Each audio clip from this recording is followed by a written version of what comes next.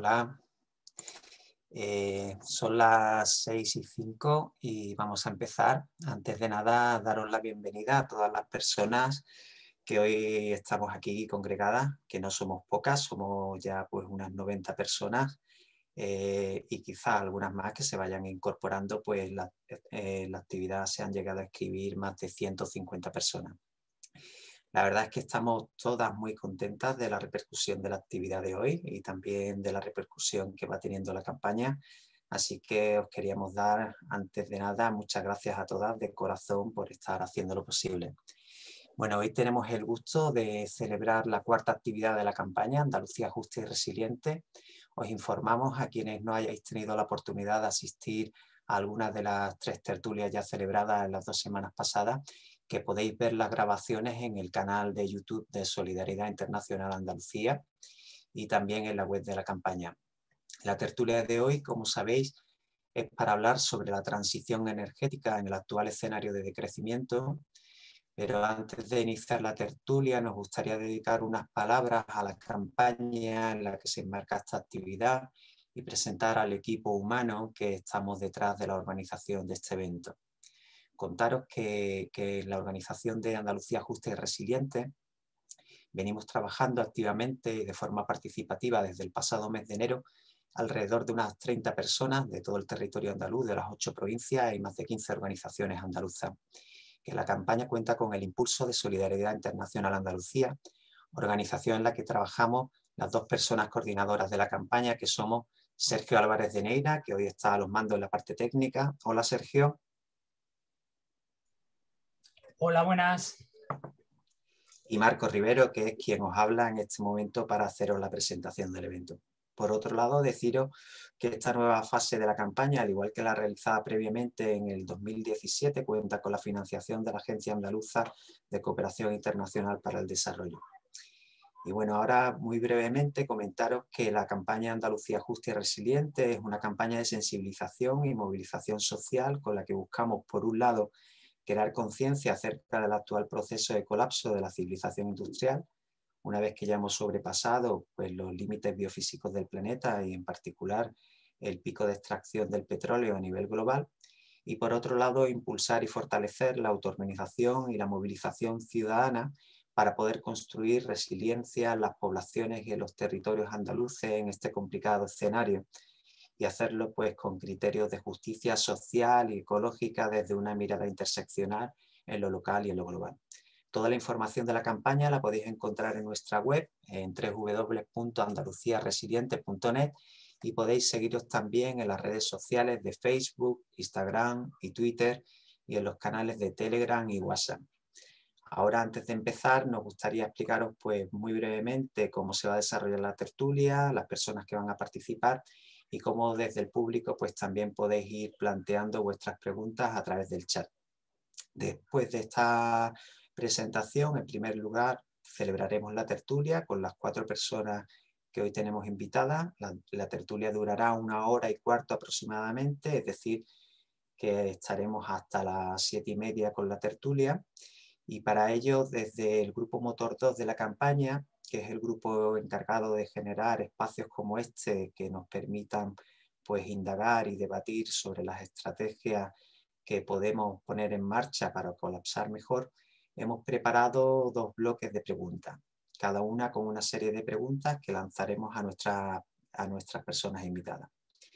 El primer bloque versará sobre los diagnósticos que manejan las personas invitadas y, la agenda de transición energética con la que cada una de ellas se alinea, eh, mientras que el segundo bloque aterrizará sobre las estrategias de transición concreta que permita pues, a las poblaciones y a los territorios adaptarnos mejor a un escenario de, menor consumo energético y de hacerlo pues, con criterios de, justicia local y global.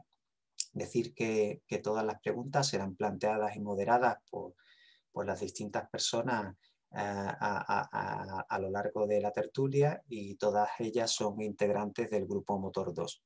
En concreto, las preguntas serán lanzadas por Che. Hola Che, ¿qué tal?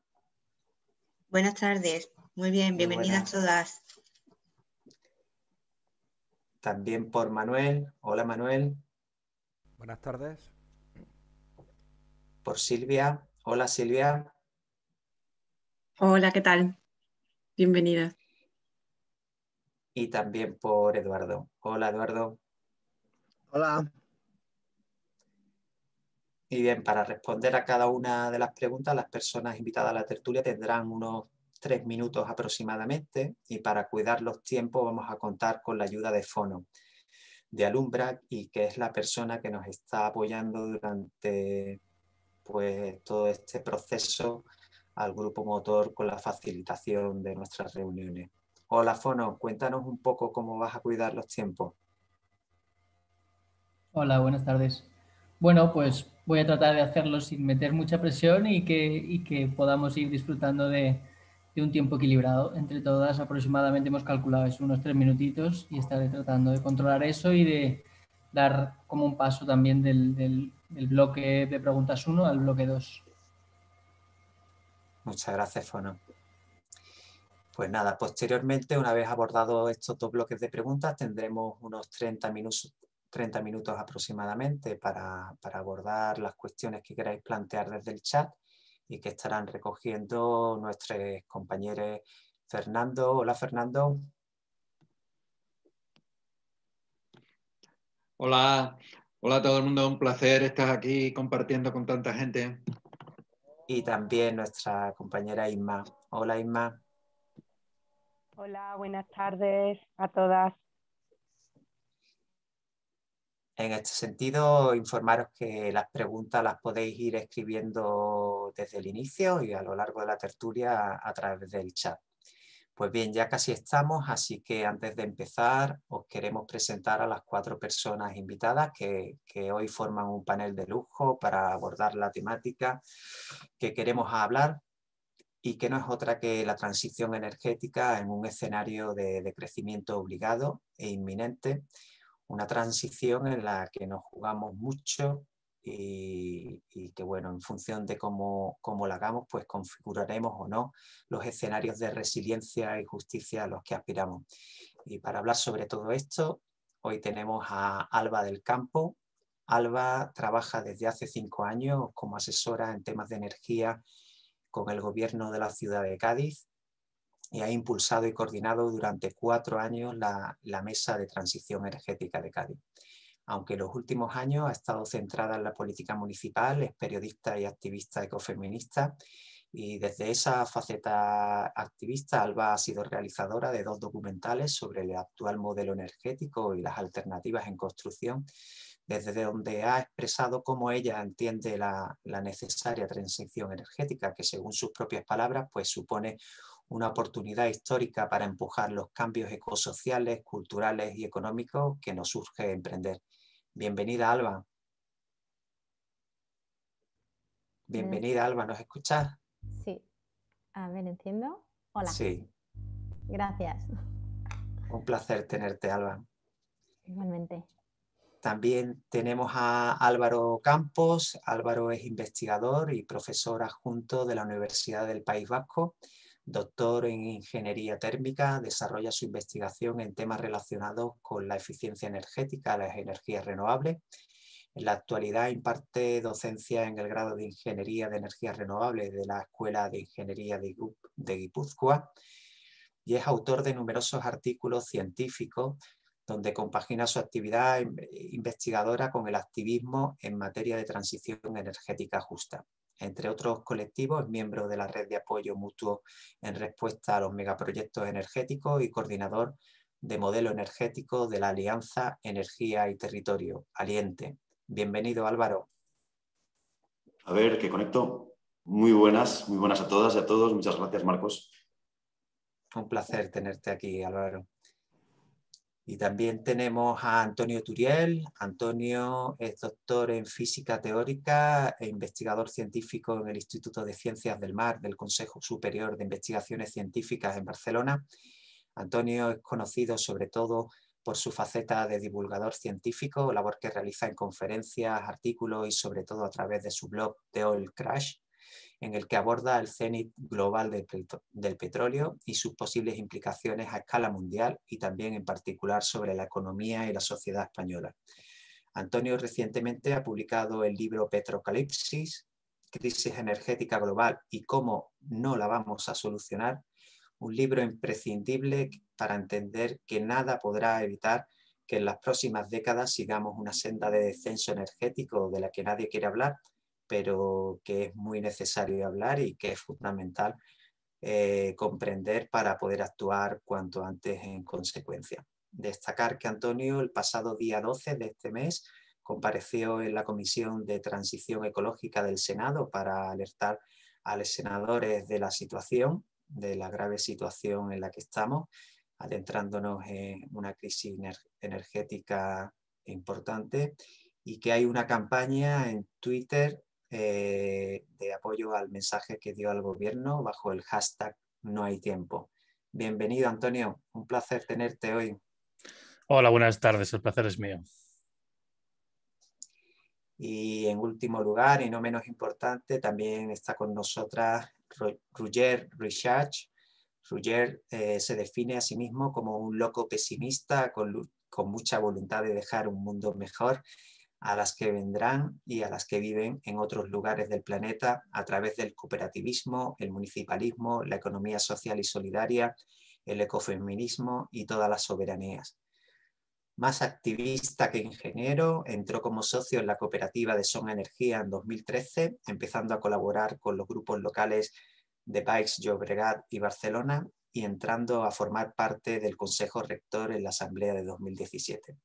También participa en colectivos y redes sobre energía y medio ambiente y ha trabajado en diferentes empresas, cooperativas, ayuntamientos como técnico gestor energético. Bienvenido, Roger.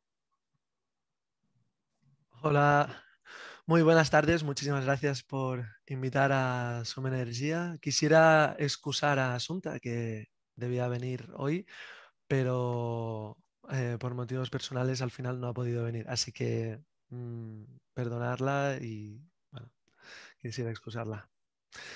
Nada, un placer tenerte a ti también, Roger.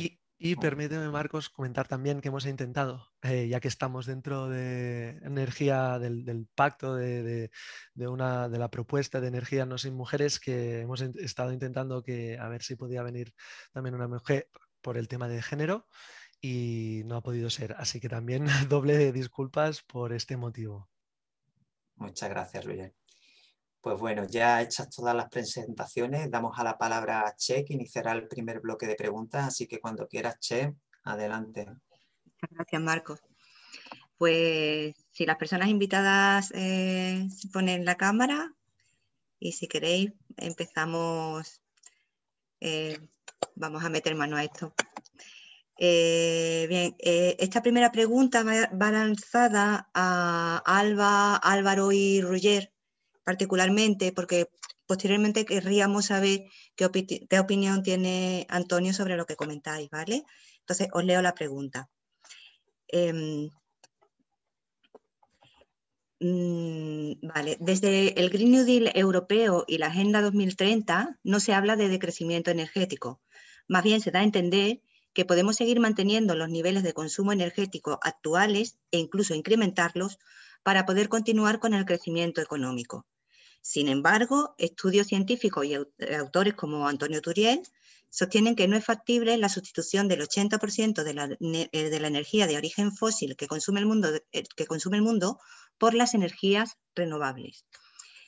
Y lo que queremos saber es si estáis de acuerdo con esta afirmación y más aún si vuestras organizaciones están manejando este escenario de decrecimiento energético obligado en nuestras sociedades como el más probable. Eh, ¿Alguien se lanza? Venga, empiezo yo, si os parece. ¿De acuerdo? Venga.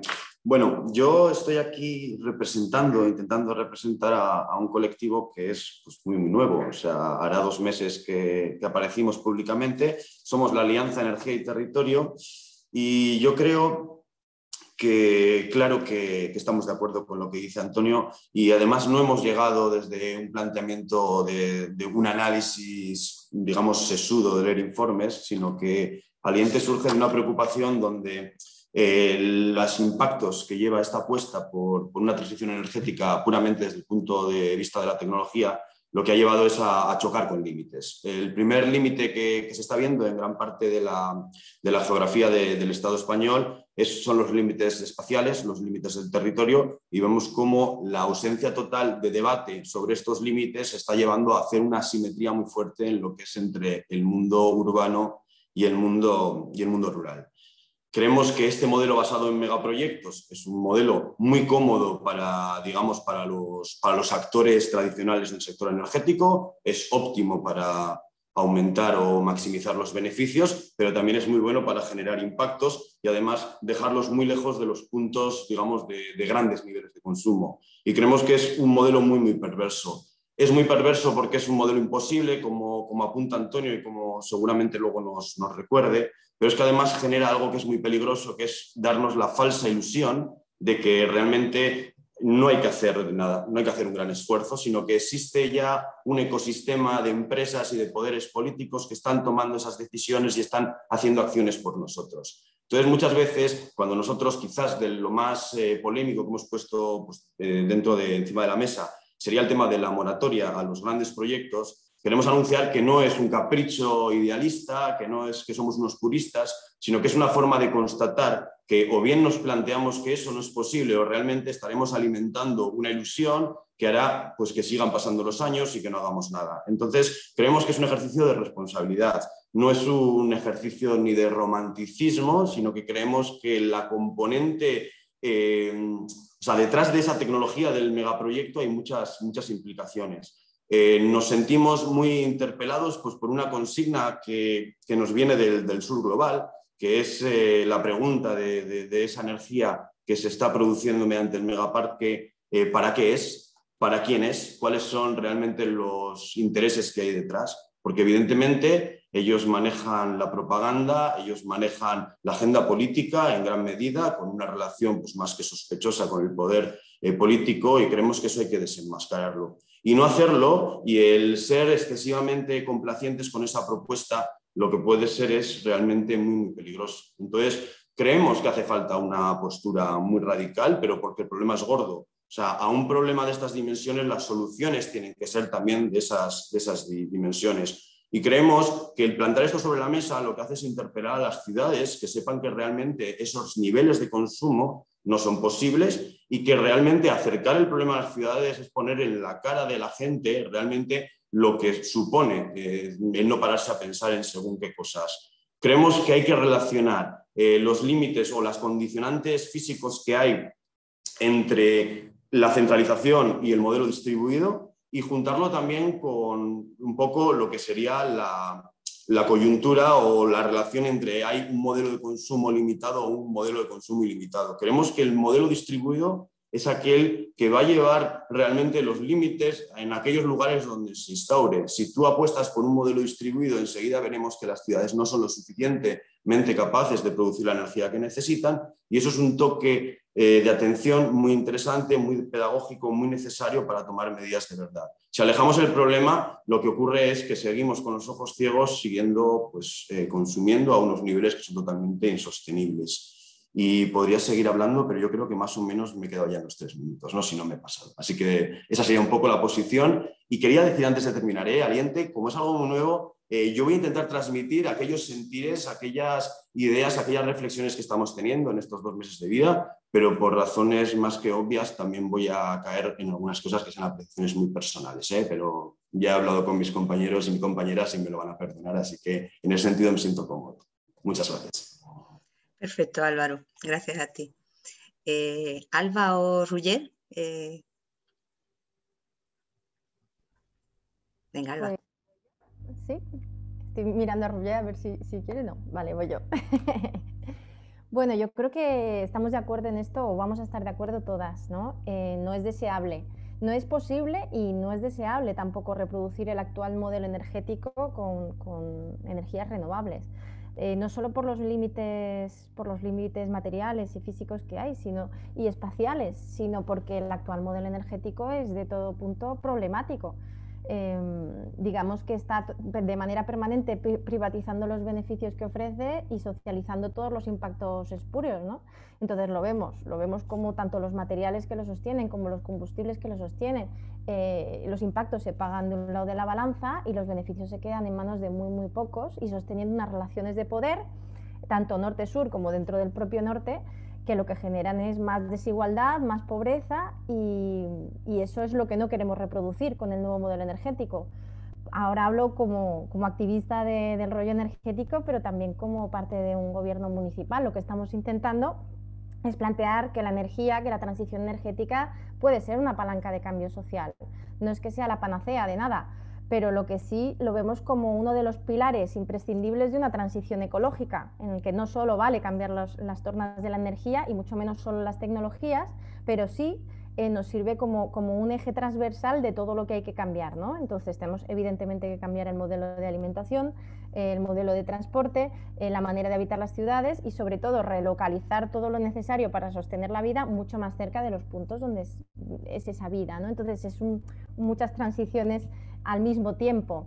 Y en materia de energía, en materia de energía todo ello necesariamente pasa por una reducción radical del consumo. Y energía está en todo, en todo lo que compramos, en todo lo que hacemos.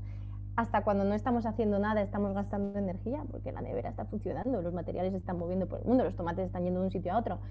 Entonces, reducción radical de este consumo energético. Y por otro lado, priorización, priorización de lo necesario. No podemos tener un modelo económico eh, y, de consumo que se dedica a producir cosas que no necesitamos, tal y como va el planeta, ¿no? por los niveles de contaminación, por los impactos, por el uso de unos materiales finitos. Entonces, eso no lo, no lo queremos reproducir. Entonces, bueno, lo que tratamos de transmitir es un mensaje con, con dos ideas clave a la hora de transitar a otra cosa, a otro modelo energético. Priorización de lo importante, reducción de consumo y por otro lado eh, que nos fijemos, como decía Álvaro, ¿no? energía para qué y en manos de quién y cómo se gestiona. Y ahí estamos hablando de gobernanza. Por eso nosotros, y nosotros hacemos una defensa ultranza de las renovables, pero unas renovables en manos de la gente y de las administraciones locales. Y ahí tenemos una tecnología muy sencilla, que es el autoconsumo, ¿no? que es la fotovoltaica.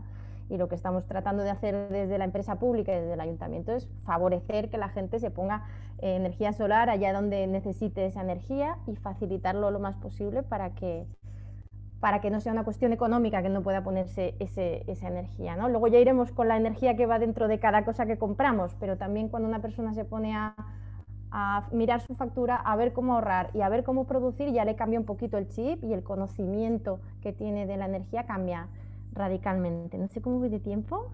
¿Bien? ¿Sí? A ver. ¿O no? ¿Eh? ¿Puedes seguir? Bien. Sí, estoy aquí, perdona. Es que se me ha ido, se me ha ido la conexión y he tenido que volver a entrar, entonces me he perdido un poco, pero yo creo que ya, si lo has sentido que tenías que pasar, es momento de pasar a otra persona. Bueno, pues le paso la pelota al Roger. Gracias, Alba. Bueno, pues qué mejor contextualización que la que han hecho Álvaro y Alba. Eh, supongo que todos estaremos de acuerdo en que el contexto está claro. Em, por nuestra parte, en Soma Energía, igual vamos haciendo debates eh, año, año tras año, pero sí que está claro que lo que une al activismo energético, al menos una, una parte, uno de, los activismos energéticos que hay dentro del sector eh, cooperativista, es que no solamente eh, hay esta preocupación hacia la forma de consumir y hacia la forma de producir energía, como bien han expuesto las compañeras, sino el oligopolio que hay montado. Igual ahora me veréis a mí y habréis escuchado a muchas eh, personas socias eh, de Soma Energía que eh, van a la yugular con el oligopolio, con Endesa, Iberdrola, Naturgy, hay que decir los nombres, es así. entonces, es lo que hay, y juntamente con los gobiernos de turno, pues hemos llegado a la conclusión o al punto de, no poder más, de decidir eh, autoorganizarnos y, y, mm, establecer diferentes eh, mm, objetivos en común, como es, por ejemplo, producir nuestra energía y basarnos en los principios de soberanía energética, que si, eso los comentamos eh, seguidamente. ¿Qué podemos explicar del cooperativismo y cómo ha ayudado en esta, a partir de, esta, este contexto ¿no? que han expuesto, eh, pues eh, vemos que el cooperativismo se basa, entre otras muchas cosas, en la preocupación por la, por la comunidad. ¿no? Eso implica el trabajo para conseguir desarrollo sostenible en las comunidades, eh, tanto en los ámbitos económico, social, cultural, ecológico y mediante políticas aprobadas por las personas socias. Entonces, en 1769, por ejemplo, ya está Fenwick Weaver Society en, Escocia para, establecer ya otro cambio, otro modelo democratizador. Eh, luego están los eh, pioneros de Rochdale en el siglo XIX y así vamos avanzando. Eh, en el cooperativismo también tuvimos un, un fuerte impulso a finales del siglo XX, finales del siglo XIX, finales, principios del 20, 1900, hasta la guerra civil que se lo cargó todo. Y ahora pues es eh, la nueva época donde desde Soma Energía, por ejemplo, pues intentamos eh, establecer nuevos modelos de, democracia, una persona, un voto. Por eso establecemos la cooperativa de consumo. Eh, queremos empoderar a las personas. ¿Y cómo se hace? Pues estableciendo grupos locales y grupos temporales de trabajo que, puedan decidir y puedan eh, debatir, pueden formarse, pueden eh, tirar hacia adelante el, proyecto, formación, información, acuerdos de intercooperación, promoción de nuevos proyectos eh, a través del Generation Kilovatio Hora, que es formas de invertir de forma colectiva y de ¿Cuál es el futuro que vendrá? Pues ah, ahora ya se empiezan a hablar de comunidades energéticas locales, aunque nosotros ya llevamos un tiempo echándoles un ojo y a ver cómo podrán influenciar en esta transición energética. Disculpar si me he pasado. Muchas gracias, Roger. Eh, bueno, pues habéis lanzado bastantes conceptos, ¿no? Eh, modelo distribuido, gobernanza, priorizar eh, lo necesario, un montón de conceptos. Antonio, ¿qué tienes que comentar a todo esto? Bueno, yo evidentemente estoy bastante de acuerdo con, todo lo que se ha dicho, por no decir con todo. Eh, simplemente de las cosas que se han dicho, bueno, me han evocado ideas que yo creo que es interesante comentar. La afirmación que yo hacía es que, bueno, que hay un 80% de la energía final que actualmente no es, que no es eléctrico y que es difícil de electrificar una buena parte. Seguramente podemos conseguir un 40 o 50% de electrificación, pero el otro 50 o 60 es difícil. Incluso este 20% adicional que podamos conseguir, eh, pues va a, ser, caro, va a ser costoso, va a ser complejo. ¿no? Y aquí estas dificultades, sobre todo, intentamos mantener pues, el sistema tal cual está. Hay un punto que yo creo que no se incide lo suficiente y que a mí me gusta recalcar, que además yo creo que ayuda a la vertebración del territorio y al tema de la relocalización de la producción de la energía, es que es conveniente recordar que se puede aprovechar la energía renovable de manera no eléctrica. Y esto es una cosa que pocas veces se habla. Eh, además, generalmente con el doble o triple de eficiencia. Eso sí, acompasándose a los ritmos del territorio, pero al mismo tiempo tiene la ventaja de que se consume en el territorio. Por eso, lógicamente, no gusta. ¿eh? O sea, las grandes empresas, la idea de la localización de la energía, de producir la energía de manera no, eléctrica, la electricidad tiene la ventaja de que es más fácil de, transportar. ¿no? Aunque, bueno, sobre eso haré un comentario también. Ha comentado Álvaro sobre el tema de, bueno, también lo ha comentado Alba, ¿no? para, quién, eh, para quién se genera esta energía de, los megaparques. ¿no? Bueno, en primer lugar, yo creo que una parte importante de estos megaparques, megaparques que se están planteando ahora seguramente no acabarán produciendo la energía porque yo creo que esto simplemente es otra burbuja otra burbuja del ladrillo para algunos de los parques que se van a idear que no tienen demasiado sentido y lo que se intenta simplemente es ganar dinero con la construcción, lo cual ya es malo porque evidentemente genera un perjuicio y un impacto ambiental y, otros, y otra serie de problemas. Eh, pero luego, evidentemente, hay una serie grande de estos parques que probablemente sí que van a llegar a funcionar, si los materiales están disponibles, que eso también lo comentaremos. Y que la idea, obviamente, es en principio llevarse esta electricidad pues, hacia las grandes ciudades, las grandes empresas y demás. ¿no? El problema es que tenemos un problema para incrementar el consumo de electricidad dentro de la cantidad de energía final que consumimos, suponiendo que lo mantenemos todo igual, y es aquí donde entra el tema del hidrógeno. ¿no? Y entonces, de la misma manera que, digamos, las grandes ciudades ejercen un colonialismo sobre el territorio en general y sobre lo que se llamará la España vaciada, en el sentido de apropiarse sus electrones y, llevárselos para consumir allá, como también tiene una limitación, eh, el hidrógeno que se está pensando en producir y todos estos grupos de electrólisis que se están planteando que se van a introducir, probablemente van a acabar, acabar yendo hacia Alemania, va a acabar yendo hacia, hacia Europa, porque Europa está pensando mantener su modelo industrial actual y el único combustible que puede permitir hacer frente a la caída del diésel que como sabemos pues comenzó ya el año 2015 y por eso tenemos todos los problemas que tenemos, eh, pues es esencialmente no tiene los hidrógeno, pero el problema, claro, es muy ineficiente la transformación, en el manejo, etcétera, etcétera, con lo cual hay que producir muchísimo más y yo creo que a priori pues España va a ser primero quien va a suministrar este hidrógeno al resto de Europa y más concretamente Alemania, hasta que ya pueda empezarse a explotar el hidrógeno de África, que es lo que ahora mismo está, ¿no? es lo que se está metiendo y también explica la apuesta por el coche, por el, por el tren de hidrógeno. ¿no?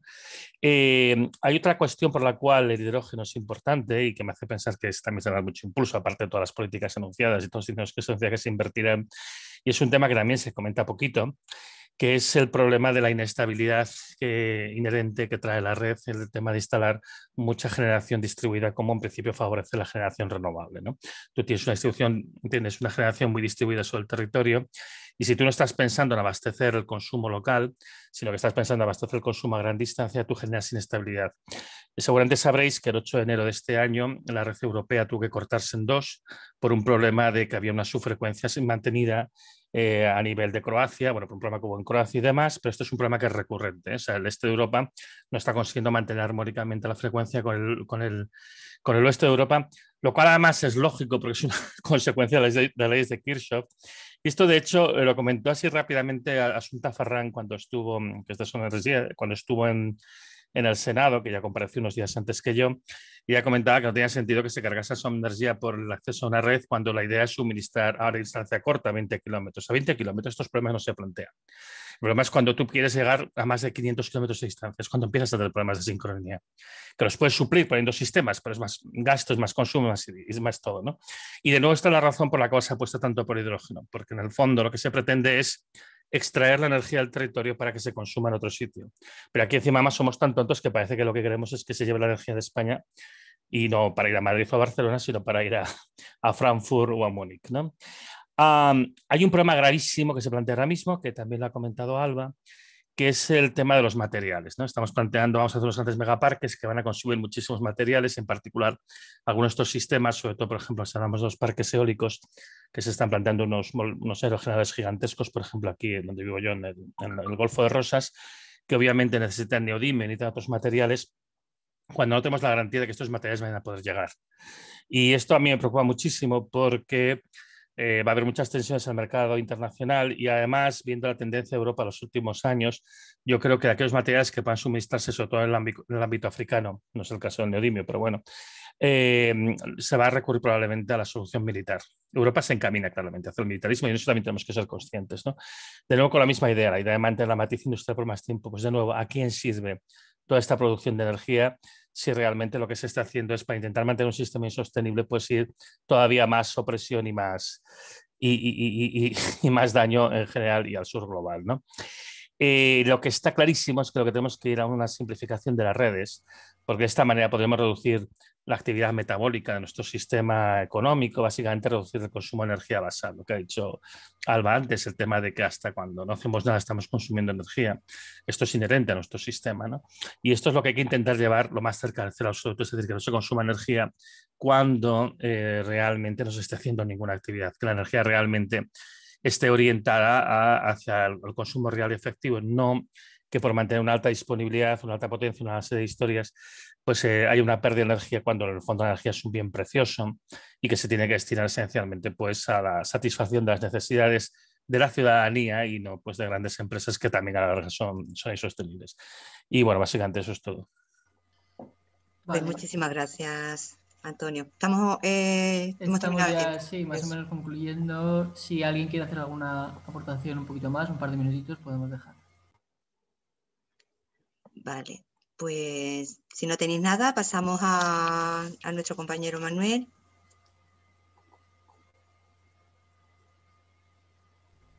Manuel, ¿está ahí? Vale, sí, gracias. Eh, Bueno, pues buenas tardes. Eh, vamos a seguir con Antonio porque justo eh, la segunda pregunta de este bloque sobre diagnóstico y agenda pues tiene mucho que ver con lo que acababas de decir, ¿no? Es decir, la dificultad que hay para que eh, la transición hacia las renovables, primero por su lentitud y luego después porque va a ser incapaz de sustituir toda la energía fósil que, consumimos en la actualidad. Entonces, te queríamos preguntar en principio ¿Qué consecuencias podemos esperar tanto a nivel social como económico de esta situación, de esta transición tan lenta y que, como tú decías, en el mejor de los casos, pues a lo mejor eh, pudiera eh, sustentar el 40 o el 50% de la energía que actualmente consumimos y luego después pues ya eh, abrimos el turno al resto de, de contratulios pues para que concreten sobre la, lo que las ideas que tú expreses. Así que cuando quiera, Antonio. Bueno, yo voy a seguir un poco el, guion que me habéis enviado, porque hay unas preguntas muy concretas, ¿no? aparte de esta más general de las consecuencias. Mira, el tema de las consecuencias de, de la situación, primero, de la dificultad de transición por una parte, y por otra parte, el descenso energético. ¿eh? Pero no tenemos que olvidar que nuestra situación a la de base es las compañías petroleras han abandonado el negocio del petróleo además en desbandada, están desinvirtiendo rápidamente desde el año 2014 porque ya vieron que no había manera de producir dinero por el petróleo. Los precios eran los más altos de la historia y los más altos que puede soportar la economía y aún así perdían dinero a lo bruto. Y desde el año 2014 están desinvirtiendo. Oye, Repsol ha reducido un 90% ¿eh? su inversión en buscar los yacimientos de petróleo y en el conjunto del mundo las petroleras han desinvertido un 60% y ya por eso la Agencia Internacional de Energía, a su pesar, avisa de que podemos ir a un escenario de gran bajada de la producción de petróleo en los próximos cinco años. Eh, entonces, en este escenario, el problema de las consecuencias que hay para la sociedad y para la economía depende del modelo de sociedad y de economía que queramos tener. Entonces, si seguimos pensando en un modelo pues, orientado al crecimiento, de grandes empresas, de centralización, etcétera, bueno, es un modelo que es tremendamente disfuncional en una situación de escasez de energía y en una situación de escasez de materiales y una, situación de, dificultad y debilidad. Si se plantea un modelo mucho más relocalizado, un modelo orientado a la satisfacción de las necesidades, evidentemente tampoco va a ser un camino de rosas, pero, eh, pero es muchísimo más abordable y además iría la dirección que es la lógica, a la que además yo estoy convencido de que se podría hacer una transición correcta y efectiva, eficaz e incluso generalizable al contexto del mundo, con lo cual sería muchísimo más igualitaria. Dentro de las cuestiones concretas que me planteabais en el documento que me enviasteis antes, eh, que si puede haber cortes en el suministro energético. Esto es inevitable si hablamos de petróleo. Es decir, que haber interrupciones en el suministro del petróleo, que no olvidemos, es, el, es más del 50% la energía que se consume en España ahora mismo, porque la gente va en coche, las mercancías se mueven en camiones, los tractores y las cosechadoras van con diésel, eh, los barcos van con combustible que es muy parecido al diésel actualmente, tenemos los aviones, etcétera. Bueno, hay un montón de cosas que van con petróleo, el petróleo, con productos derivados del petróleo, y el petróleo es el 50 y pico por ciento de lo que se consume. ¿vale? Entonces, sí que se espera que haya problemas de suministro de petróleo y aquí, pues lo más probable es que si mantenemos el modelo actual, haya vidas hacia adelante, el tema de intentar aprovechar el carbón para producir un sucedáneo de petróleo, con el proceso de Fischer-Tropsch y este tipo de historias. ¿no? Eh, a nivel de electricidad, el problema no es tan rápido ni tan acuciante, excepto por un tema, que es el mantenimiento de las grandes infraestructuras. Entonces, como el modelo es un modelo de gran red, es un modelo al mismo tiempo muy vulnerable y frágil. Y entonces, cuando empieces a tener problemas de que necesites mantener la infraestructura con típicamente maquinaria que se mueve con diésel, ¿no? por ejemplo, yo que sé, se te calza una torre de alta tensión y tienes que ir con una excavadora, hormigonera, etcétera, etcétera. Bueno, pues ahí es cuando puedes empezar a tener problemas de suministro, no tanto por que hay un problema de acceso a la producción, porque de hecho hay una capacidad de producción que es suficiente y más en una situación de contracción económica, como por el problema de poder mantener la red en condiciones.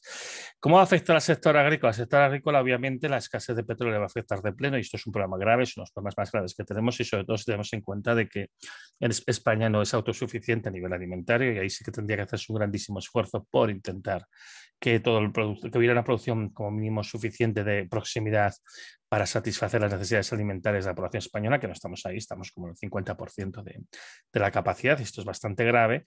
Eh, y eso, bueno, pues evidentemente si no nos adaptamos rápidamente, pues puede haber problemas muy serios ¿no? de, de, seguridad alimentaria y demás. Para los próximos años, la afectación en nuestro día a día, yo veo que va a haber una afectación tremenda porque, como digo, por el problema del petróleo, que ya veremos cómo nos afecta, porque evidentemente no va a afectar igual a todos los países del mundo y nosotros al estar en Europea quizá lo amortigua un poco, pero bueno, igualmente vamos, aquí hay, mierda para todos, o sea que algo nos va a tocar. Eh, yo espero que haya una gran afectación y en particular yo creo que se va a manifestar en un problema serio, que es el problema de, de, de evidentemente, pues mucha gente en el paro y sin muchas posibilidades de volver a trabajar. ¿no? Además, ya estamos empezando a ver problemas muy serios de falta de suministro, ha empezado con los plásticos, que es lógico porque del petróleo, pero también se empieza a extender a algunos metales como pues el, cobre, el acero laminado, ahora mismo, por ejemplo, el paladio que se necesita para los coches y muchas otras cosas que están empezando ya a escasear. Eh, me contáis también si es inevitable que se produzcan ciertas migraciones a otros territorios. Yo creo que sí, e incluso sería deseable en una transición ordenada que se esponje un poco la ciudad, pero sobre todo más que las ciudades, las urbanizaciones aisladas, ¿no? que esto es, yo creo que es el típico ejemplo de modelo insostenible basado en el coche privado, que no es algo que se pueda mantener en el futuro de manera fácil. ¿no? Y bueno, yo creo que esto puede ser positivo si se, si maneja con cuidado. ¿no? Eh, y ahora, con esos sectores prioritarios para asumir las casas de energía, pues para mí lo primero, evidentemente, es la alimentación. Hay que garantizar la alimentación de toda la gente. Después, hay que garantizar el acceso a agua potable, que no es tan sencillo, y el tratamiento de las aguas residuales, porque pensad que la mayoría de las enfermedades transmisibles se transmiten en condiciones, de no, si no hay un tratamiento adecuado, pues por culpa del agua. Recordemos las epidemias de cólera que hubo en el siglo XIX. Y después de esto, evidentemente, el mantenimiento de las infraestructuras críticas que esto pues implica pues mantener algunas eh, infraestructuras en marcha que son muy importantes, ¿no? de, de, todo tipo, ¿eh? desde comunicaciones hasta pues eh, provi provisión de servicios, etcétera, etcétera. Es una muy complejo de una gran escala y me da la impresión de que vamos a ir un poco improvisando sobre la marcha.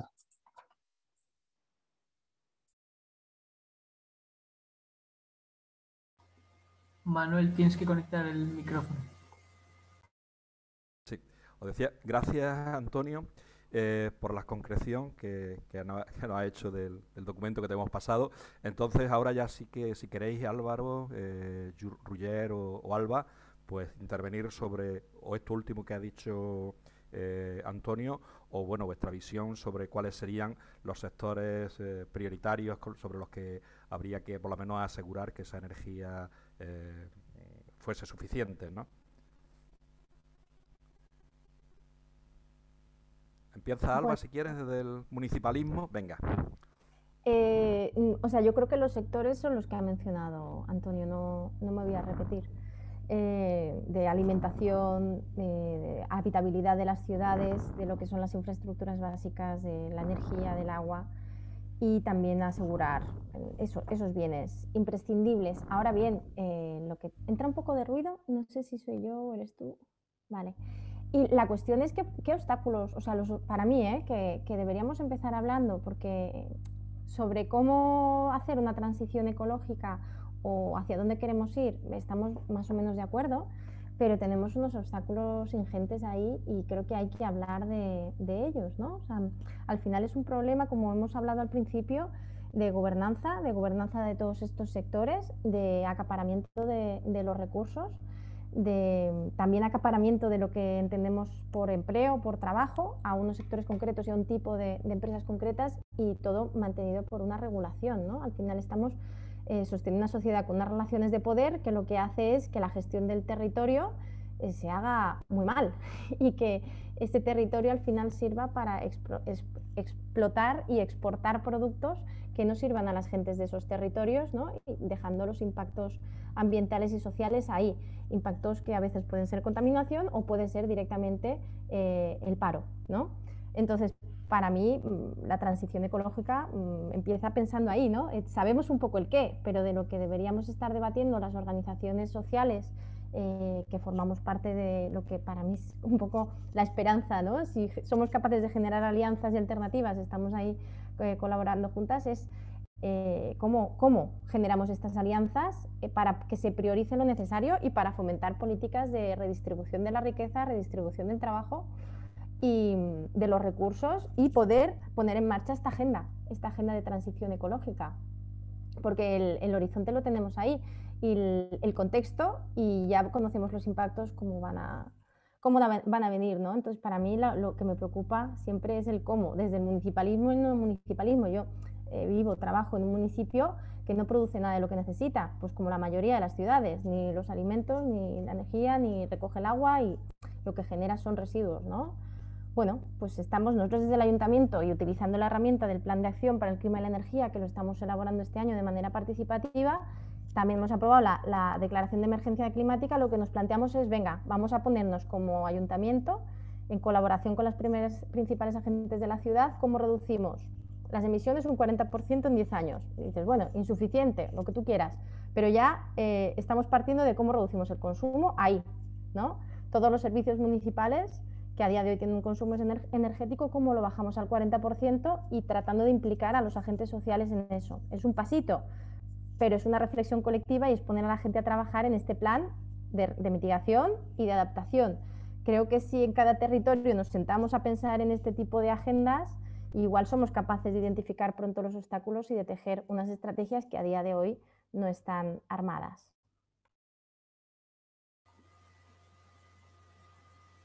Perfecto, Alba. A ver, eh, eh ¿podrías eh, plantear un poco desde las comunidades energéticas, por ejemplo, que promueve SON, si podrías... Mm, se, ve por ahí un camino eh, factible de, intervención? Perdonar un momento, estamos, estamos ya como en, en, en, hora de pasar al siguiente bloque. Os pediría como algo concreto, alguna puntualización concreta, ¿vale? Bueno, en, ese caso, em,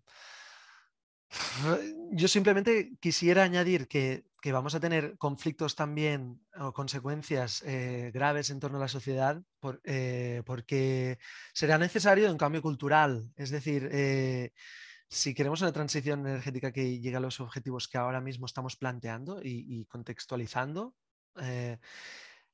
será muy necesario una, transformación, social donde tengamos que aceptar eh, el decrecimiento y tendremos que empezar a, analizar y a, ver si aceptamos eh, dejar lujos que han llegado a día de hoy, como por ejemplo es el, vehículo eh, privado o otros tipos de, hábitos o servicios, bienes y servicios que estamos ahora acostumbradas a utilizar, pero que y, el exceso o, el, descontrol eh, de, todo lo que consumimos, no solamente energía, sino todo lo, que, todo lo demás, alimentación, agua y, productos que también requieren de, su propia energía. Entonces, eh, viene el, tema de la, del contexto psicológico, emocional, también será un punto muy importante a, a, encarar. Entonces, eh, se comentaba que, se podía hacer desde comunidades energéticas y aquí realmente pues, eh, vemos cómo eh, empoderando a las personas, cómo estableciendo, organizando espacios, encuentros, potenciando la formación y todo lo que va asociado a, porque de hecho es un, es un circuito, es, un proceso, el, del empoderamiento, ¿no? donde empieza desde la formación y, encender la bombilla para, entender qué es lo que está pasando a mi alrededor y por qué es tan importante que me involucre en un proyecto. Entonces, eh, hasta que podamos eh, sentirnos em, útiles y, que nos dejen también participar. De, aquí viene el, el, proceso de la participación y la democratización del sistema donde las personas pueden también decidir hacia qué rumbo queremos ir. Mm. Eh, brevemente, Álvaro, si tienes algo que añadir.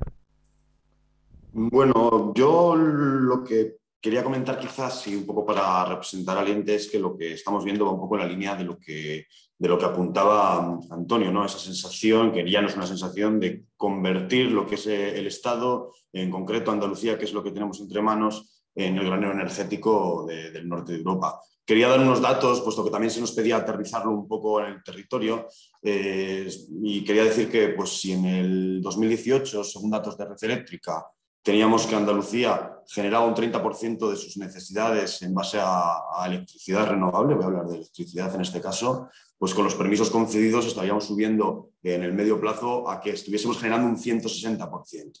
Por lo cual ya estaríamos que esta, esta extracción este colonialismo 2.0, pues lo tendríamos ya. Y lo más grave de esto es que hay que tener en cuenta es que la infraestructura para que eso sea posible desde las interconexiones al reforzamiento de todas las líneas exteriores, e interiores, perdón, las paga la ciudadanía y no se va a beneficiar de ello. Entonces, tendríamos que Andalucía sea un sitio de lujo para los grandes fondos de inversión que puedan venir aquí y encima que los consumidores estemos pagando la infraestructura. ¿Y qué pasaría en un escenario futuro de escasez? Pues resulta que tendrías un gran mercado con una oferta limitada donde seguramente el que más pague pueda estar en el norte de Alemania o en Polonia, tenga acceso a la electricidad antes que alguien que un vecino de, pues no sé, de Lopera en. O sea, ese tipo de reflexiones sobre lo injusto de esto es que estamos pagando porque nos están vendiendo que esto es necesario por esa transición energética que, es tan necesaria y que es necesaria, pero es necesario otro tipo. Porque aquí, a poco que escarbemos, vemos que lo que hay detrás son los intereses de los mismos que hasta hace cuatro días estaban negociando con, pues, con, con petróleo y siguen negociando con petróleo. Y por acabar también, a mí me hacía mucha gracia, creo que ya era un mes cuando había un tuit de Iberdrola que decía, hace 20 años nos llamaban locos cuando hablábamos de energías renovables y ahora se nos está dando la razón. ¿no? Entonces yo creo que eso pone sobre la mesa, que a esa gente no le ha importado la transición, ni salvar los muebles nunca. Solo que ahora mismo, pues lo que tienen, las herramientas que tienen, las aprovechan, ponen toda su, maquinaria de generación de propaganda y lo que no podemos hacer es estar aplaudiendo. Entonces yo creo que hay que tener muy en cuenta que los intereses de estos fondos, de estas eléctricas, de estos grandes poderes económicos, los tenemos que tener enfrente y no tenemos que tener ningún tipo de, no sé, es muy difícil, eh, lo entiendo, pero al final si somos, si concedemos terreno, al final yo creo que es una oportunidad y lo que decía al principio, ¿no? O sea, que no hay medias tintas en esto, porque generar la ilusión de que se está haciendo algo cuando realmente no se está haciendo nada es lo peor que podemos permitirnos en este momento Perfecto, pues si queréis, Fono, pasamos al, bloque 2. Sí, muchas gracias por, todas las intervenciones. Bueno, comentar que, en, este, en esta segunda pregunta le da un poquito más de tiempo a Antonio, como iba dirigida como directa a él y luego igual recorta un poquito a las demás las siguientes vamos a, ver si podemos dar un, espacio más como un debate en el que podáis entrar todas un poco por, igual. Bueno, tampoco es necesario que todas respondáis a las preguntas, no estáis obligadas. Eh, la, siguiente persona, en, no me, disculpadme, pero no me acuerdo quién era de nuestro equipo, quién es de nuestro grupo, quién, quién tiene la siguiente pregunta. Silvia. Silvia. Gracias, Silvia. ¿Qué tal? Yo creo que en realidad ya tenemos ganas todo el mundo también de meternos eso en la parte de las estrategias, ¿no? Y de cómo se están empezando a articular, pues desde la agenda liberal, de manera que lo que ya habéis comentado, ¿no?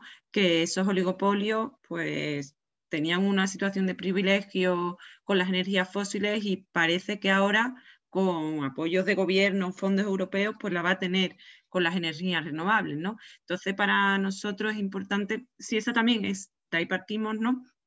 Un poco que destacaréis pues ideas, fuerzas que puedan unirnos ¿no? a diferentes actores de menores del sector energético y de la sociedad civil para hacer frente a esa agenda corporativa que, como ya habéis nombrado, eh, neocolonial, es extractivista, no tiene en cuenta otros sectores como la agroecología ¿no? y la renaturalización, que además necesita de zonas de sacrificio, pues ve un poco eso, qué podemos hacer, ¿no? qué estrategias se están planteando desde la sociedad civil y desde los gobiernos para esa transición y cuáles pueden ser las principales diferencias con la agenda eh, político-corporativa, ¿no? desde la agenda liberal. Muchas gracias.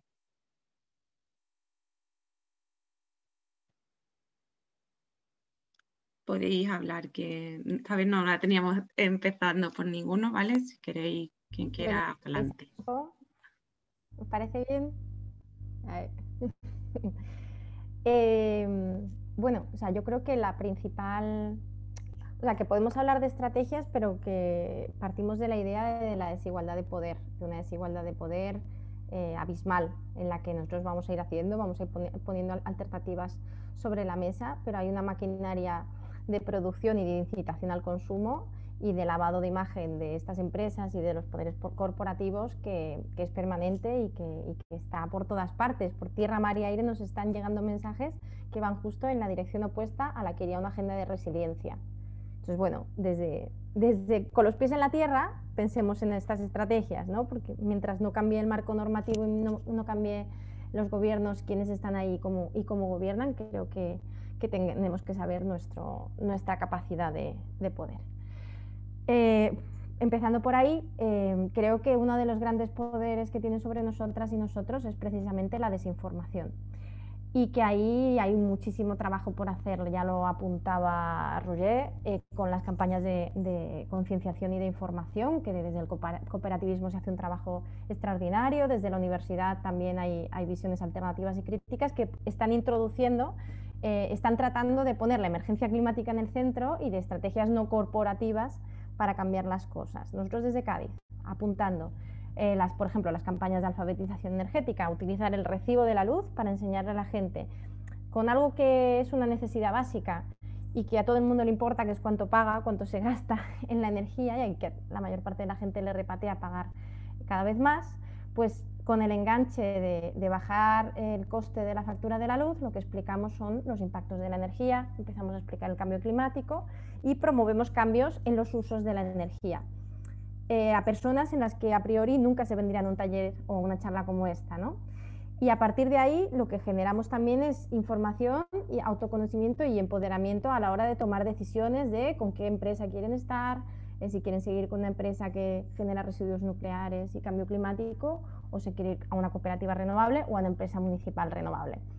Como campaña, ¿vale? Cosas que se pueden hacer en toda Andalucía, nosotros lo hacemos en la ciudad, pero también formamos gente para que lo hagan el resto de la provincia, como, como la cooperativa Son Energía lo hace por, con los grupos locales. ¿no? Digamos que este es un movimiento ciudadano de pedagogía y de apología de un cambio de modelo energético que puede utilizar esa herramienta, la factura de la luz. Es una tontería, pero da unos resultados estupendos, porque cuando le ahorras a la gente 20 euros, 30, 50 al mes, lo siguiente que le cuentas también lo recibe de otra manera.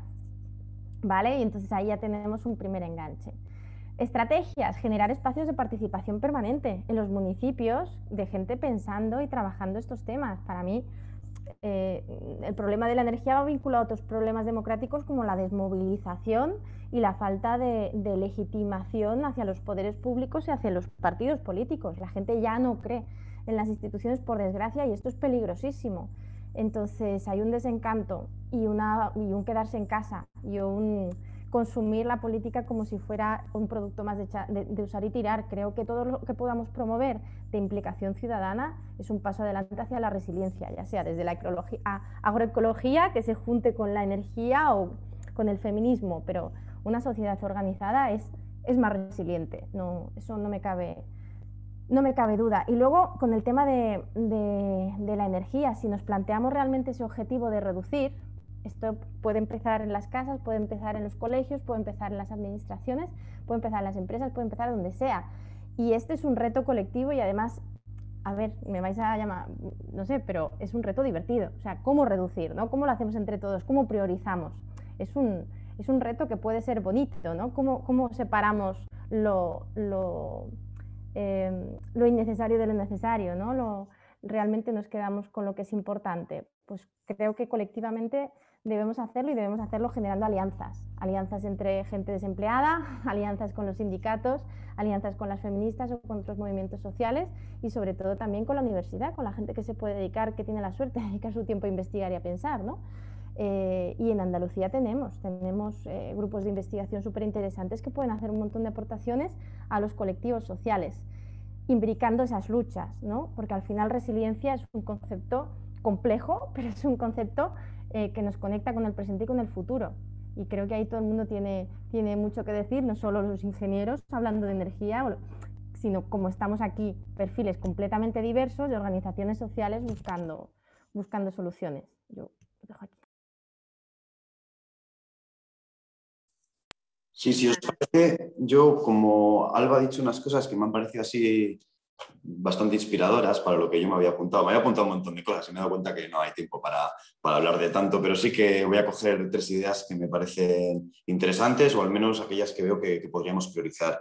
Creo que la labor que, está haciendo Alba y su equipo ahí desde Cádiz creo que es muy, muy importante porque es a lo que me refería al principio, o sea, la necesidad imperiosa de que las ciudades se hagan cargo de su aprovisionamiento energético y no desoigan. Sea, yo creo que eso es fundamental y que se den cuenta de lo difícil es ponerse límites y, de alguna manera no cumplirlos, ¿no? Porque al final tenemos unos niveles de, de, consumo que partimos del diagnóstico que no son posibles. Entonces, que realmente las ciudades se erijan como agentes en eso y sean capaces luego además de transmitir a la ciudadanía, oye, mira que esto es lo que tenemos entre manos, esa labor pedagógica creo que es muy importante. Y la educación, que seguramente que esté en la clave de, todas las ideas que yo he podido apuntar y seguramente de las que, de las que se digan, el problema es que requiere tiempo. Y eso es algo que me parece muy preocupante. Entonces, yo tampoco creo que vayamos a conseguir eh, soluciones totales, pero sí que estamos a tiempo de conseguir soluciones parciales. Es decir, que el hacer algo eh, merezca la pena frente al pesimismo y la parálisis. Entonces yo creo que eso es muy importante. Quería comentar también que una cosa que quizás todavía más, más difícil sea que cómo somos capaces de desmercantilizar la energía, volver a los orígenes de los sistemas energéticos, donde había una necesidad y pensábamos y utilizábamos un poco la astucia, eh, aparecían esos ingenieros el dar respuesta a ese problema. ¿Qué pasa? En un momento se vio la oportunidad de hacer un gran negocio de ahí y ha cogido una inercia que a ver cómo volvemos hacia atrás. Eso es el temazo, realmente. O sea, que la energía no sea una mercancía. Porque incluso si aceptamos que la energía es finita, si la energía tiene problemas para satisfacer las necesidades de todo el mundo, entonces si abrimos un libre mercado ahí, ¿eso qué es? Eso es un problemón. Entonces, si admitimos que hay límites, pues la energía se tendrá que gestionar de otra manera y tendremos que hablar de cosas que son muy impopulares, como poner límites al consumo. ¿Y qué mecanismos de mercado existen para eso? Porque podemos caer en la trampa de los precios, que es algo totalmente injusto, o podemos caer en algo que sería pues, simplemente decir, oye, eh, ¿cuánto podemos consumir? Entonces son ideas que habría que trabajarlas. ¿Y cómo metemos eso en una cultura del deseo ilimitado, en un marco eh, cultural que está totalmente orientado a que no desees eso? Es que vender eso es complicadísimo. Y yo creo que ahí tenemos el temazo. Y por acabar, quizás yo creo que es muy importante también desmantelar toda la ideología que hay en los planes políticos del gobierno, como puede ser el PNIE, como puede ser el Plan Nacional de la Red de Transporte, donde hablan, sí, el autoconsumo está muy bien, pero no hay ningún número, no hay ningún objetivo. Eh, la gestión de la demanda, sí, para las grandes empresas, pero las personas no, no podemos pedir a la gente que sea capaz de cambiar sus usos. Nos están infantilizando, nos están dejando fuera del medio y están dejando que el único lugar para hacer cosas sea el de las grandes empresas. Entonces, todo eso son cosas que hay que hacer, son cosas que son muy difíciles y lo que he dicho al principio, se trata de, avanzar en esa dirección y cuanto más lleguemos, pues más cerca de, ¿no? de, conseguir, digamos, eh, salvarnos, ¿no? visto un poquito lo que, lo que tenemos delante. Y esa sería un poco mi intervención así resumida para ajustarnos a los tiempos.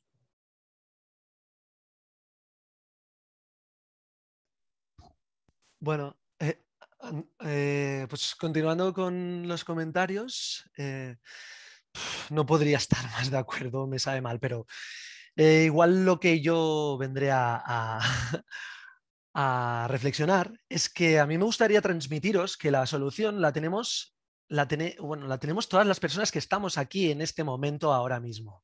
Es decir, el impacto que podemos generar, eh, todas las personas, eh, bueno, 106 personas en este mismo momento, bueno, es indescriptible. No sé si hay muchos estudios, pero sí que es cierto que mm, hay como una crisis existencial. Igual muchas veces falta eh, reflexionar en torno a, este tipo de crisis, ¿no? que el sistema nos hace perder eh, la creencia en nosotras mismas. Entonces, ah, no nos sentimos empoderadas ni nos sentimos que podemos hacer nada contra estos, estas grandes empresas que estamos hablando durante toda, todo este tiempo. Em, igual, mm, centrándonos en el ámbito andaluz, en el territorio andaluz, pues eh, comentaros que, por ejemplo, en Almería, en Cádiz, Córdoba, Granada, Los Alcores, Málaga, Sevilla, Sierra de Huelva, pues unas cuántas personas organizadas, al menos que yo sepa, eh, socias de Soma Energía, empezaron a organizarse y a crear conciencia colectiva y a crear eh, propuestas, a, desarrollar propuestas que puedan llegar a, algún puerto, ¿no? pero siempre en base a unos principios, como los que comentaba antes. Pues es así como vamos a conseguir todo aquello que, que nos o al menos ah, lo podremos conseguir de esta manera, con la organización y con el empoderamiento. Entonces, bueno, simplemente, mm, bueno, poco, poco más que añadir. Le, paso a, Antonio la palabra, igual si luego eh, me viene algo más. Bueno, yo por no alargarlo mucho de muchas cosas que se podrían decir, eh, haré dos comentarios. ¿vale? Uno es evidentemente que el gran problema que tenemos es que hay que luchar contra la propaganda. Álvaro lo ha expresado muy bien antes cuando comentaba lo del anuncio de Iberdrola, que hace falta ser cínico para poner eso. Yo creo que uno de los aspectos en los que se puede incidir es cuáles son las consecuencias de este modelo.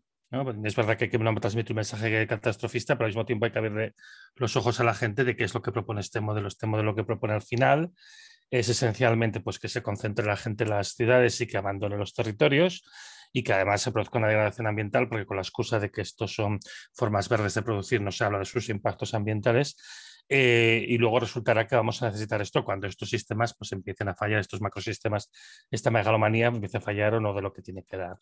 Entonces, pues hay que darse cuenta de que esto lo que lleva es a un empobrecimiento general de la población y, y en general a vivir peor. Eh, una de las razones por las que no se habla eh, y molesta que se hable de que la energía es finita es que si la energía es finita, entonces pasa lo que plantea Álvaro. Es que hay que discutir qué se hace con la energía. Entonces, al final hay una cuestión que siempre planea, ¿no? Que es que la energía es un servicio. Es un servicio básico. Y lo que no se puede permitir es que se mercantilice de una determinada manera. Es decir, el exceso de energía, si sobra, se puede comerciar, pero evidentemente la energía básica que necesita todo el mundo para vivir este tiene que, hay que hacer comprender que es un servicio y entonces ahí hay que hacer un gran cambio de mentalidad y decir, no, no, no, no queremos que nos roben la energía, porque la energía de aquí es energía para nosotros, igual que energía de cada territorio es para cada territorio. ¿no? Y me hace gracia además que eh, tengamos esta dificultad para aceptar eso, de que la energía es finita y que dificultades, porque cuando yo nací hubo una grave crisis del petróleo unos pocos años después de que naciera y yo recuerdo de niña haber visto algún anuncio en la tele, que los más viejos quizá también recuerden, que decía aquello de que apaga la luz porque aunque tú puedas, España no puede. Y eso ahora parece que ya se nos ha olvidado, ¿no? Entonces yo creo que es importante decir, no, es que vamos a una estación en la que, bueno, la energía es finita y que la energía hay que gestionarla y que la energía hay que repartirla y que la energía hay que distribuirla y de una manera justa que llegue para todo el mundo, pero primero para todo el mundo y luego por pues, los sobrantes, si, si se quieren destinar otras cosas, pues fantástico. Entonces yo incido en estas dos cosas, la necesidad de conservar el territorio, porque va a ser lo que al final y sobre todo cuando el problema del cambio climático todavía se agudice más, lo que nos va a dar una oportunidad de realmente resistir de gas al futuro y la otra idea que la energía es un servicio y que tiene que estar a, disposición de todo el mundo.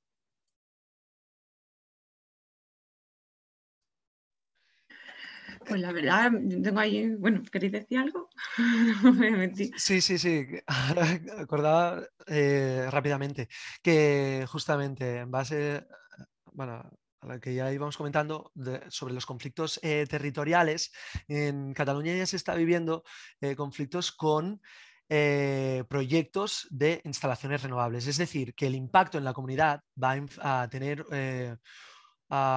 una repercusión en el, conocido efecto no en mi jardín, ¿no? el NIMBY o este, este, tipo de, conflictos ya existen, por eso comenta también la, la importancia ¿no? de, de tener en cuenta a la ciudadanía organizada y establecer procesos participativos para evitar que es que si, no se realizan a la, eh, a la hora en que mm, diferentes empresas lleguen a algún acuerdo con ayuntamientos o, gobiernos eh, autónomos o, regionales, eh, veremos cómo habrán muchos conflictos em, entre la propia comunidad.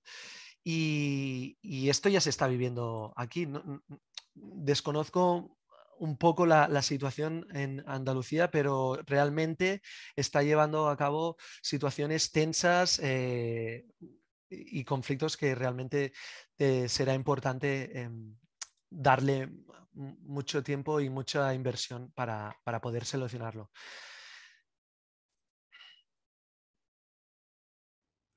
Sí, a mí también me gustaría añadir una cosa con, al respecto de lo que decían tanto Antonio como, como Álvaro. ¿no? Al final que la energía sea un bien de mercado eh, está completamente tan imbricado en, en, nuestra médula que a la hora de establecer estrategias de, transición energética, claro, todos los proyectos que tienes que hacer, ya sea desde el ámbito público o desde el ámbito privado, al final le están poniendo un precio a esa energía y no puedes, o sea, no puedes solicitar un, proyecto y que la propuesta sea, no, el ayuntamiento pone esta instalación para abastecer todos sus, eh, tanto a, sus eh, edificios municipales y a la gente que tiene alrededor.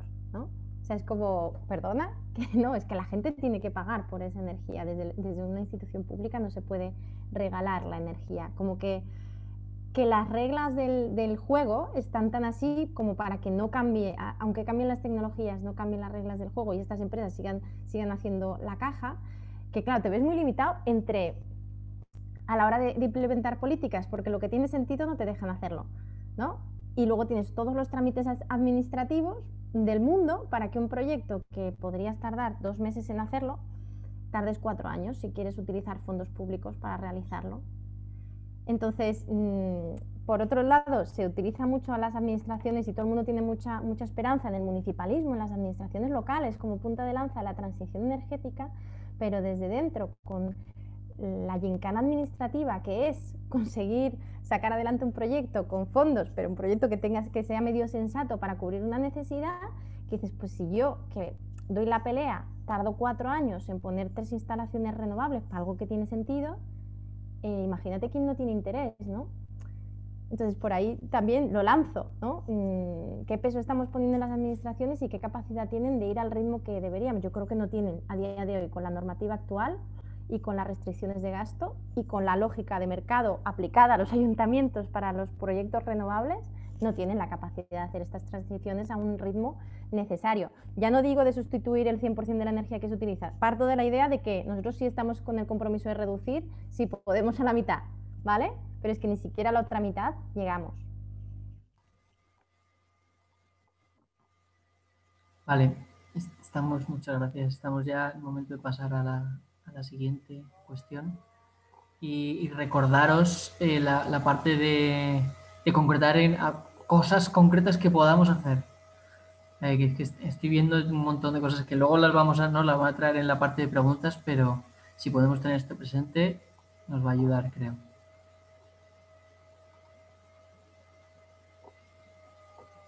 Sí, Silvia, ¿estás tú con la siguiente pregunta o quién estaba? Eh, la siguiente yo creo que es bastante parecida, entonces creo que es más interesante a lo mejor dar el paso a Eduardo por el tiempo, el tema de los, de los tiempos que estamos. Ok. Eduardo, ¿te parece? Vale, buenas tardes. Mm, parece por lo que estamos debatiendo y por cómo va la discusión que estamos en una situación de, de crecimiento energético y que en esa situación posiblemente eh, la normalidad, tal como la vemos ahora, vaya a cambiar sustancial, sustancialmente. Si yo preguntara a mi alumnado universitario en qué va a trabajar en el futuro, probablemente casi nadie diría que en el sector agrícola. Sin embargo, con los datos que tenemos ahora mismo en la mano, el sector agrícola puede representar en este momento un 4% de la población activa y de las horas de trabajo y tal, pero con los datos que tenemos, si no tenemos energía externa suficiente para producir alimentos, pues tendríamos que acudir a la energía endosomática, la de siempre que tenemos los humanos, y esa fuerza de trabajo es la que nos va a dar alimentos. Pero nadie está pensando en esto. Entonces la pregunta sería un poco, ¿cómo creéis que va a impactar el decrecimiento energético en los distintos sectores económicos? Y no solamente cómo va a impactar, sino qué deberíamos estar haciendo ya en este momento para, mm, mm, de alguna forma, adaptarnos a esa nueva situación. Pongo un ejemplo. Si se sabe que sin energía externa la agricultura industrial va a colapsar, no deberíamos estar ya, pero ya mismo, no solamente eh, eh, fomentando una, como diría yo, por, decirlo suavemente, una apropiación comunitaria de los suelos agrícolas para poder enfrentar este problema. Eh, deberíamos estar quizás formando a la población, no en la idea de que van a trabajar en informática, sino en la idea de que van a trabajar posiblemente en el sector agrícola, etc. Nos gustaría saber un poco vuestra opinión sobre ese impacto en los distintos sectores económicos y qué podemos hacer para que eh, eh, la situación no sea catastrófica y, qué tipo de estrategias, eh, qué tipo de prioridades deberíamos de poner en marcha en esos sectores económicos.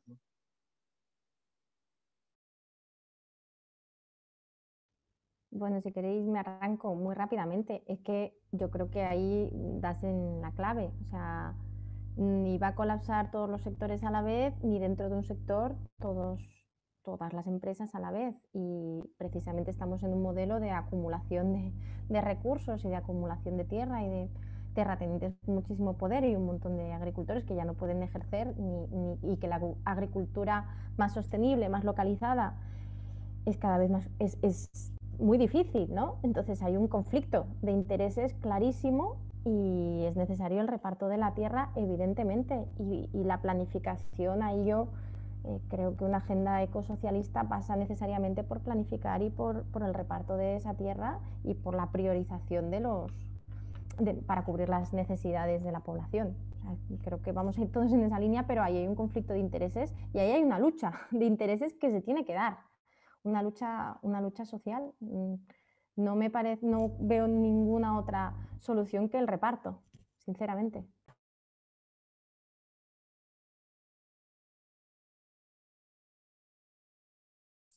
Bueno, me animo yo, continuando lo que ha dicho Alba. Yo creo que es fundamental lo que comenta. De hecho, cualquier planteamiento que nos hagamos, si no partimos del uso, del acceso a la tierra, pues poco podríamos hacer Creo que si lo aterrizamos en el caso de Andalucía, que es por donde va la, pregunta, creo que tenemos que tener en cuenta cuáles son sus potencialidades, cuáles son sus limitaciones. Creo que una de sus potencialidades, seguramente o, no, está totalmente ligado también con la limitación, que es que tenemos un sitio con grandes niveles de irradiancia. Y creo que más allá de lo que diría el mercado de hacer una economía fotovoltaica, lo que sí que tenemos que hacer es una economía solar.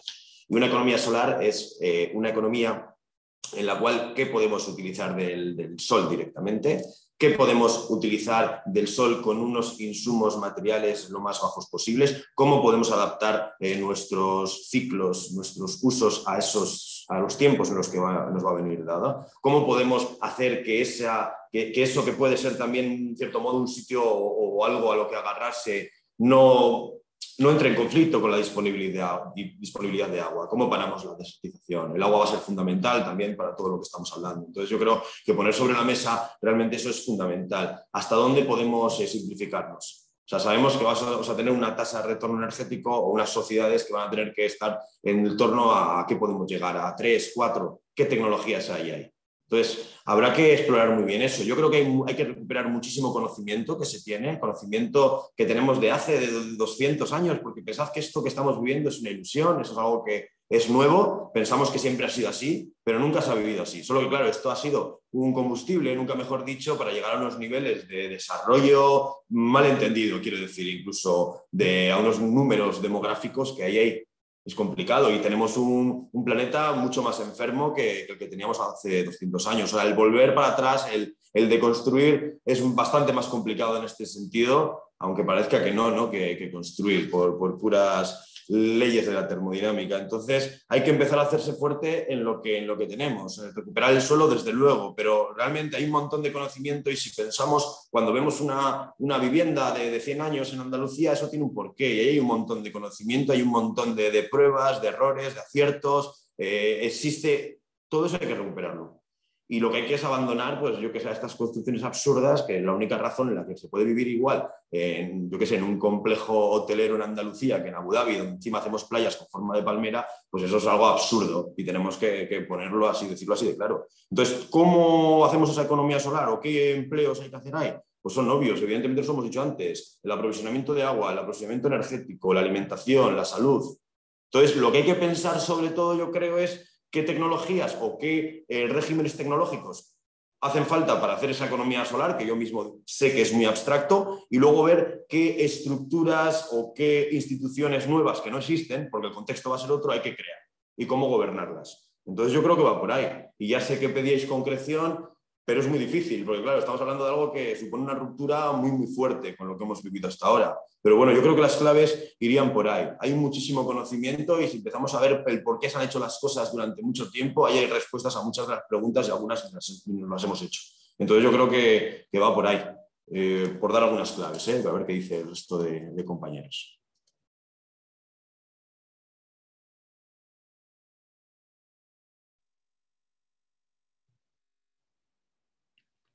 Antonio, Roger, ah, dale, Antonio, Vale, no, no, yo. Vaya, ya comento yo ahora. Vale. Uh, bueno, yo creo que el tema del impacto sobre los sectores eh, socioeconómicos, evidentemente hay que hablar de los sectores a priorizar, que evidentemente son los que tienen que ver sobre todo con el sector primero y el abastecimiento de necesidades fundamentales, empezando por la alimentación, y también hay que hablar de los sectores a abandonar, tema muy desagradable. Entonces, uno de ellos es el turismo.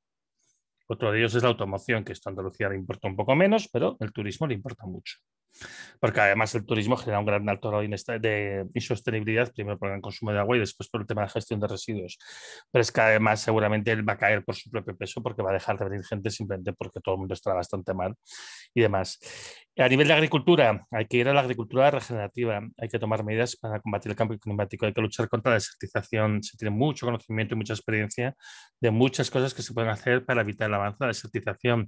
Lo que sucede es que no se han invertido siempre los recursos necesarios, aunque evidentemente luchar contra la desertización, que es un problema muy grave, sobre todo en la Andalucía Oriental, eh, es algo que se puede hacer y se puede gestionar. Y eso también a veces habría que recuperar incluso conocimiento de la época de los árabes, que realmente hicieron unas grandes obras allí y una gran gestión del territorio también por el tipo de cultivos y el tema de, bueno, pues cómo recoger los flujos de agua, que además sean renovables, no explotar tanto el agua de los acuíferos, que además luego causa problemas como los que ya conocemos, de subsidencia del suelo como eh, pues el, agua que de, la lluvia. ¿no? Además, eh, determinado tipo de vegetación lo que favorece es la evapotranspiración, con lo cual estás favoreciendo que llueva más. Entonces, ese tipo de actuaciones para mí yo creo que son urgentes. Yo creo que ha habido una negligencia casi criminal en ese sentido, pero aún estamos a tiempo de hacerlo porque la verdad es que la naturaleza en ese sentido es bastante agradecida.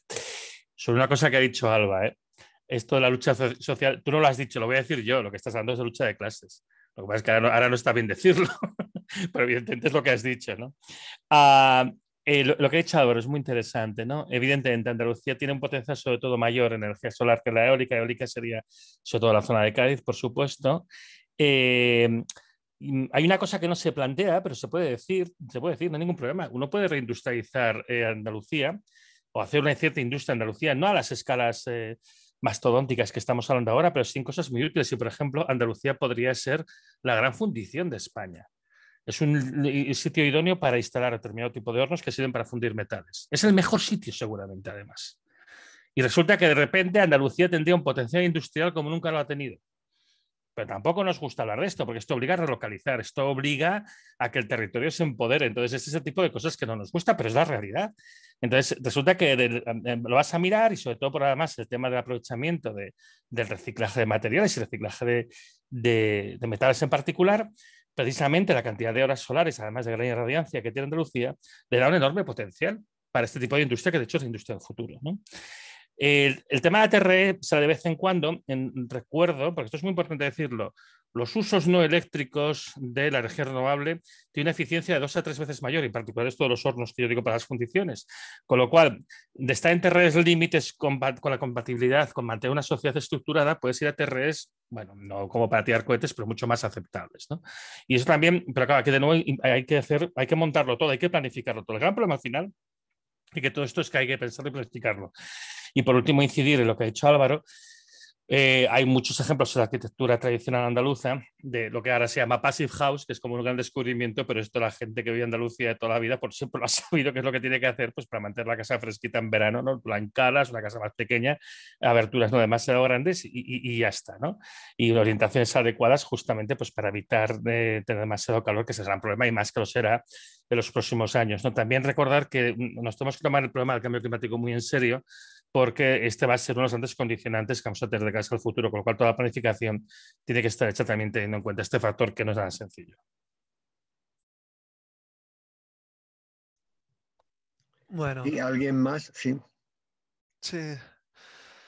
Eh, bueno, como propuestas también alternativas eh, en torno a favorecer o a potenciar, a impulsar nuevos proyectos. También, bueno, desde el cooperativismo o desde Soma Energía en concreto, impulsamos eh, un proyecto que es el germinador social, que de alguna manera es algo a muy pequeña eh, escala, igual quien lo conozca eh, lo tendrá en mente, que en principio son pequeños los, proyectos que se presentan, pero es una manera también de promover nuevas alternativas locales que cumplan ciertos criterios, que cumplan criterios de sostenibilidad. Y bueno, eh, aquí cada ayuntamiento podría tener su, potencial. Es decir, si se hiciera en cada ayuntamiento, seguramente eh, la cantidad de, iniciativas eh, en toda Andalucía crecería exponencialmente. Entonces, ¿qué se trataría de hacer? Bueno, ya sea a través de cursos, eso ya, ya cada ayuntamiento decidiría, ¿no? Pero este tipo de promoción no solo eh, con ayudas, sino, bueno, también podemos, podemos contemplar bonificaciones o potenciar pliegos en licitaciones que contemplen este tipo de economía social y solidaria. Entonces, bueno, simplemente referenciar a, la red de Cortesana de Sevilla, Ecologistas en Acción, Mercado Social, Redes Andalucía y muchísimas otras, otras organizaciones que vosotros conoceréis mucho más, que seguramente ya están haciendo eh, varias propuestas y, a partir de aquí acogerse e intentar eh, mm, llevarlas a cabo, ya sea desde los ayuntamientos o desde organizaciones eh, cooperativas o organizaciones colectivas que tengan estos principios. Y en referencia al sector agrícola o alimenticio, también sería importante tener en cuenta que bueno, cada vez se oye más, pero es importante comentarlo y hacer hincapié en que mm, ah, también tendremos que ah, cambiar de hábitos en, este, en estos, todos estos eh, sectores que se han comentado. Habrá la necesidad de replantear el tipo de consumo y ya vemos, por ejemplo, hace poco un, estudio de, la directa, una prensa alternativa de Cataluña, eh, pues hacía, hacía, referencia a los números que salen de, la producción de soja, donde el consumo humano directo está entre el 7 y 12%. Todo el resto va hacia consumo de, la ganadería. Y esto también es importante que se incluya en la agenda de transición energética porque ya sea en la alimentación o en otros tipos de servicios, estamos eh, eh, aportando, estamos eh, teniendo un impacto energético muy, muy elevado, no solamente eh, en, la cantidad de gigavatios hora que se necesitan para generarlo, sino para todo el territorio y, todo el, todo el Amazonas o, todas aquellas selvas, todos aquellos bosques que se, están devastando para poder alimentar a los animales. Simplemente ah, como aportación. Si queréis añadir algo más, creo que todavía estamos en el tiempo, me parece, ¿no? Bueno, estamos ya un poco en la última media hora de pasar a preguntas, pero si hay alguna cosa más que, se quiera aportar, no la vamos a cortar. Hay una cuestión que es bastante importante que no se ha abordado, ¿no? que es el tema de cómo mantenemos en marcha la maquinaria agrícola. Entonces, eh, es factible y en eso, por ejemplo, Andalucía de nuevo tiene una ventaja respecto a otros territorios, precisamente por su mayor radiación, porque puede cultivar determinados tipos de plantas que pueden producir cierta cantidad de biocombustible, que aquí sí que sería biocombustible, como para mantener una cantidad de máquinas eh, esencial. El problema ya sabemos que hay una competición el uso de los biocombustibles entre el uso alimentario u otros usos que son importantes y la producción de, energía por tanto eso tendría que estar muy controlado y reglado. Pero yo creo que, por ejemplo, Andalucía tendría buenas opciones dependiendo del tipo de cultivo que se estuviera utilizando, para producir directamente o indirectamente a través de los residuos eh, cantidad suficiente de combustible para mantener una maquinaria agrícola básica y favorecer una mejora del trabajo en el campo. Aunque evidentemente también creo que tendría que favorecerse un retorno al campo porque hará falta más gente igualmente.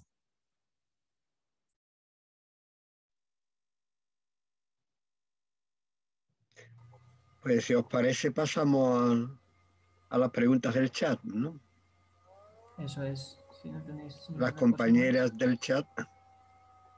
Sí, Fernando e Inma, quien han estado ahí minuciosamente recogiendo todo lo que salía en el chat. A ver qué síntesis nos hacen. Hola, hola a todas las personas que están presentes. Eh, hoy hay tarea, ¿eh? Hoy hay tarea. No es fácil esto, ¿verdad, Isma? Que tenemos tarea. hay tela, hay tela. sí. Eh, hemos recogido mm, como unas 25 cuestiones. Eh, no sé si vamos a poder abordarlas todas o cómo las vamos abordando, porque la verdad es que eh, plantean cosas muy interesantes eh, pero no sé si a cada una la vaya a contestar las cuatro, pues mm, eh, o nos vamos o, nos va, o vais autoorganizando, ¿vale?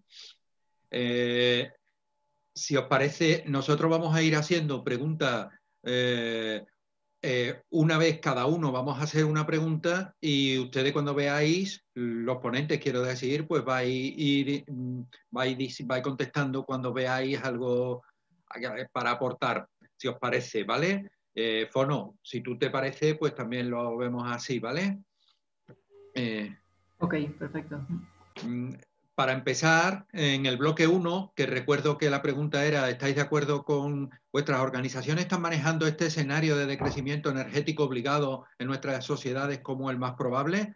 Eh, a esto comentaba Alejandro Barbero. ¿Veis viable una transición energética en el ámbito de la vivienda particular en la que no nos maten a impuestos? Eh, y, y, dice, apunto en particular a los gobiernos que podrán aprovecharse de la autosuficiencia energética.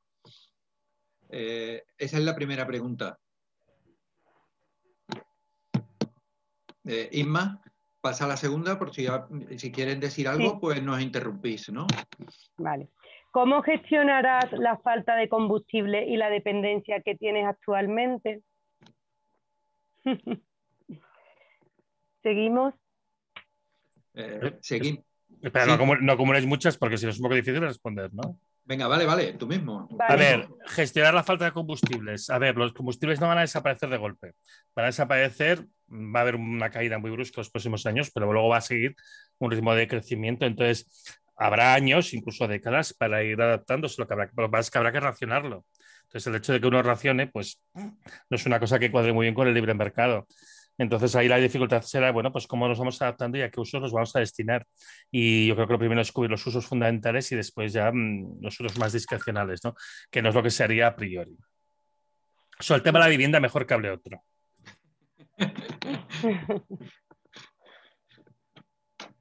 Bueno, si queréis, cojo el tema de la vivienda muy rápidamente. El problema es que, es que no colapsamos todos a la vez sino que en función de los recursos que ya de crecimiento ya en tu vida y en tu casa que, está, que mucha gente con pasta está haciendo.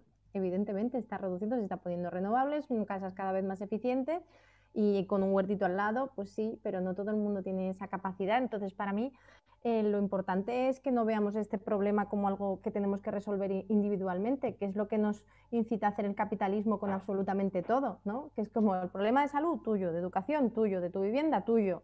Y estos son problemas colectivos que tenemos que abordar de manera, de manera colectiva. Sí, yo también por unir a lo que está comentando Alba, creo que es central el no, claro, cuando hay exigencias de, de una mayor eficiencia energética, o de un menor consumo, lo que al final surgen medidas cuando la energía es un bien de, mercado y, todo va en base a precio, es que se generan unas élites. Y realmente parece que el más solidario son realmente perfiles eh, sociales que son seguramente históricamente mucho más eh, culpables en la situación en la que estamos. Entonces parece que toda la acumulación que han hecho a lo largo de, de los años, ahora mismo les pone una situación de privilegio para poder ser los ecologistas y para poder tener el coche eléctrico y para poder hacer a todas esas cosas. Entonces, yo creo que lo que hablábamos antes de la mercantilización es central, porque si no, al final vamos a hacer guetos y yo creo que es un poco el, vamos, la, experiencia en Francia con los chalecos amarillos nos hablaba un poco de eso, ¿no? Donde realmente eh, esos impuestos al diésel, esos impuestos a realmente a las clases más bajas, realmente lo que hace es abrir la brecha y es dejar fuera a gente que seguramente es la que menos tiene que ver en todo esto, ¿no? Entonces hay que tener muchísimo cuidado y eso nos tiene que interpelar sobre la necesidad de hacer medidas que no sean ampliamente injustas y generar gente que se quede fuera, ¿no? Y el que realmente pueda permitirse el acceder a según qué, qué, aparatos, pues son los que realmente son los buenos ciudadanos, nosotros pues no. Entonces yo creo que ahí también hay algo a, a tener en cuenta, ¿no? Y como conflicto también eh, detectado es la, el interés o sí, mucha voluntad de nueva construcción. Estamos viendo que después de la crisis eh, de, las nuevas edificaciones, bueno, el boom inmobiliario que vivimos ya en 2000, bueno, todo terminó en 2007, 2008, eh, cuando estalló la burbuja, eh, vemos que ahora, después de tantos años, vuelve el interés en nueva edificación y hay un principal problema, que es el diagnóstico y detección de eh, vivienda vacía. No existe o, no existe o cuesta mucho de encontrar. Entonces, como excusa para promover o potenciar la economía, por un lado, y por otro lado, la, voluntad en, hacer vivienda social, eh, nos estamos encontrando que se quiere construir nueva, nueva vivienda eh, sin contemplar el impacto ambiental que puede tener esos terrenos, que podrían ser, por ejemplo, para uso agrícola, y el impacto ambiental que habrá pues, en todos los materiales de nueva construcción, en el consumo energético que conllevará todas aquellas personas que vendrán a vivir a, las ciudades.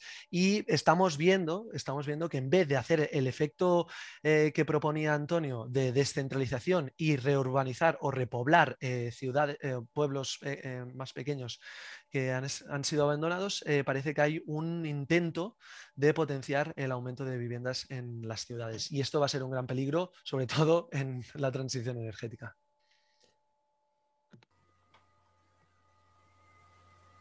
Comentaros que estoy en el, chat, voy a ir poniendo las preguntas que van haciendo Fernando e Inma, las voy colgando en el chat, ¿vale? Para que estén ahí claras.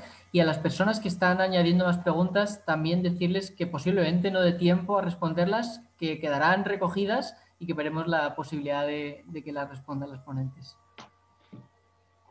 Vale, pasamos a la siguiente pregunta y hacemos lo de siempre. Empiezo yo y sigue Inma y así hasta que nos paréis, ¿vale? Eh, eh, Elena Colsa pregunta, a mí también me viene la duda de cuán sostenible es que nuestro sistema se vaya a sostener ahora en la fotovoltaica si la fabricación de las mismas placas depende de la energía fósil. Em, Clara Aurrecouchea eh, nos Espera, espera, espera, yo quería contestar a ah, esta. vale. Eh, pues no es sostenible. Esto es una de las cosas que no se habla, es decir, China hizo un dumping brutal en los últimos años hasta que arrasó con todas las fábricas de, placas fotovoltaicas en Europa y en, Estados Unidos que no podían competir con los bajos precios de, China, que fundamentalmente, pues, entre comillas, cocina sus placas fotovoltaicas usando mucho carbón. Y el problema es que, claro, esto se ha podido hacer y se dice, oye, los módulos fotovoltaicos son muy baratos. Bueno, bueno, esto es un espejismo. Esto es un espejismo que se basa en una situación que va a cambiar radicalmente en los próximos años. Entonces, ¿se puede plantear hacer placas fotovoltaicas a escala nacional? Sí, claro, a un precio más caro, pero se puede hacer. Y de nuevo vamos a lo mismo, si lo que planteamos es que esto tiene que ser un servicio, pues a lo mejor se tiene que hacer. Yo también insisto en que no todo tiene que ser producción de, electricidad, pero bueno, habrá veces que sí. Entonces, en general, la solución a los problemas que vienen encima es una combinación, no es una cosa simple, es un puzzle, hay que poner algo de esto, algo de, esto, de aquello, algo de aquello y tal. Y uno de los problemas que no nos hemos planteado es que tenemos que relocalizar cierta producción, aunque no sea competitiva a nivel de las leyes del mercado actual. Pues que a lo mejor lo que necesitamos de casa el futuro. Bueno, no os preocupéis porque además cuando empiece a faltar petróleo y empiece a faltar capacidad de transportar materias desde China, entonces ya será, empezará a ser hasta competitivo económicamente. Pero es que la planificación requiere estas cosas. Entonces sí, claro, si nos queremos basar en placas fabricadas en China, eso es completamente insostenible. Habrá que hacer una cosa diferente.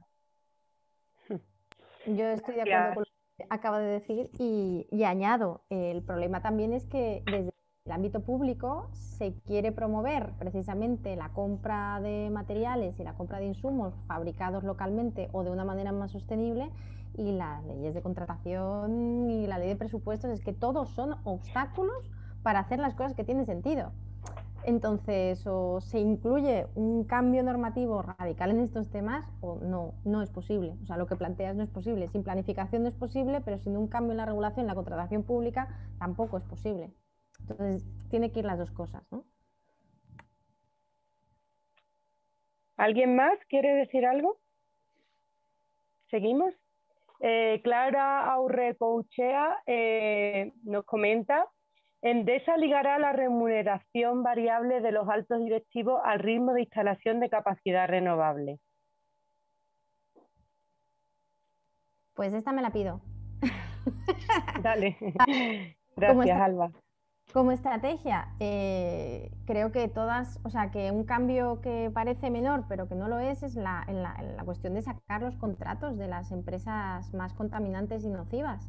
Y los contratos individuales son muy pequeñitos, pero mucha gente está trabajando en administraciones públicas, en, en universidades, y esos son contratos millonarios, ¿no? Yo porque en el Ayuntamiento de Cádiz tenemos una empresa distribuidora y una comercializadora propia que es de donde estamos haciendo esos cambios, pero son millones y millones de euros que desde la administración pública se da a las empresas que más contaminan, que más promueven la corrupción del sector y que más especulan. ¿no? Entonces, desde aquí, decir que con el cambio en los pliegos en la contratación pública se puede perfectamente eh, contratar empresas que solo eh, comercialicen electricidad renovable. Sé que es un cambio menor, pero es un cambio menor que si se hace desde los ayuntamientos y desde las administraciones públicas, desde las empresas de la gente concienciada y a título individual, pues les quita un trocito del pastel. No es el grande, el grande está en la producción y la distribución de energía, pero también cambia un poquito la manera de eh, cómo percibe socialmente la ciudadanía a estas empresas. ¿no? Cuando tú le metes valores al consumo, no es que vayas a hacer una transformación radical, pero estás, mm, digamos, transmitiendo un, eh, que el comportamiento ético de estas empresas importa a esa institución, ¿no? Y a mí me parece una herramienta de transformación que se debería utilizar de manera generalizada. Gracias. ¿Sigue Fernando? Sí, sí, vale. Eh, eh, por correo hicieron una pregunta ya hace mucho tiempo, al principio del debate, y era eh, ¿qué opinión tienen sobre la incineración de residuos para producir calor o energía? Supongo que va dirigido a todo el mundo, porque lo ponen en plural a todos los ponentes. Eh, bueno, a ver, depende de qué residuos. Eh, hay residuos que se sabe que cuando se combustionan generan sustancias tóxicas. Y entonces es una burrada. Si estamos hablando, por ejemplo, de residuos plásticos y demás, que puede liberar dioxinas y otro tipo de sustancias, pues evidentemente la respuesta es no. Eh, si estamos hablando, por ejemplo, de matojos o tal, bueno, eso se puede utilizar, eso es biomasa que se puede aprovechar de más. De todas maneras, en general, cuando hablamos del aprovechamiento de la biomasa, hay que ir con cuidado, porque uno de los puntos claves, eso es bastante conocido, es que hay que intentar cerrar los ciclos de los, de los elementos biogeoquímicos indispensables, en particular el ciclo del fósforo. Es decir, las cenizas de quemar algo tiene que volver luego al campo porque si no se pierde el fósforo y se va degradando la calidad del terreno. Entonces, eh, se puede hacer, aunque también hay mejores maneras de aprovecharlo a veces, se puede hacer, pero depende de qué estemos hablando en concreto, no así en general y a lo bruto. A ver. Dale, Isma.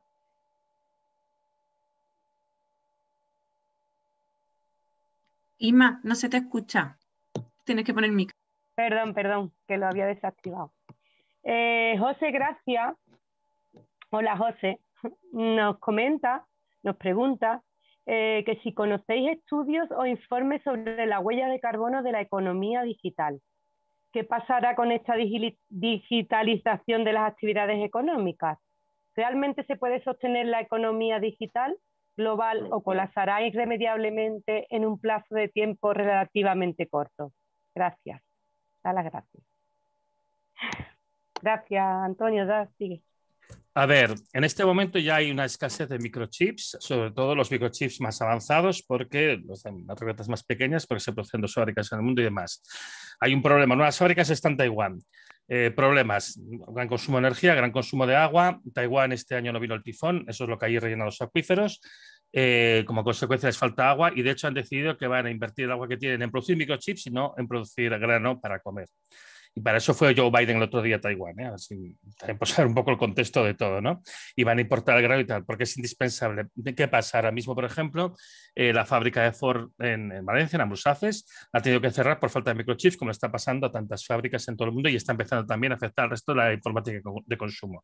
Sí, hay muchos estudios sobre el consumo de energía, eh, digamos, en la fabricación y en el consumo final eh, general, por ejemplo, de Internet. ¿no? De, entonces se sabe que ahora mismo pues, el consumo de energía eh, primaria total de lo que es Internet es el 4% de la energía total del mundo, o sea, no solamente electricidad, ¿eh? energía realmente primaria, y la previsión es que estos ritmos de crecimiento llegase a ser el 25% en el 2030. La energía digital, o sea, la economía digital es una fantasía, es una tecnofantasía como tantas otras. Es decir, yo creo que al contrario tendremos que hacer una regresión a sistemas digitales más asequibles, más humanos, más razonables, con tecnologías que además podremos hacer nacionalmente. Es decir, seguramente no podemos mantener, no en el corto plazo, yo no sé si algún día habrá algún avance que lo permita, pero no en el corto plazo, pues el tipo de microchips eh, tan sofisticados que se fabrican ahora. Pero yo creo que a nivel de, por ejemplo, de España, sería posible y sería deseable además, porque la, digitalización es necesaria para la gestión de muchos procesos, aunque la gente no se dé cuenta, no para tener un móvil de 5G, sino para cosas mucho más importantes.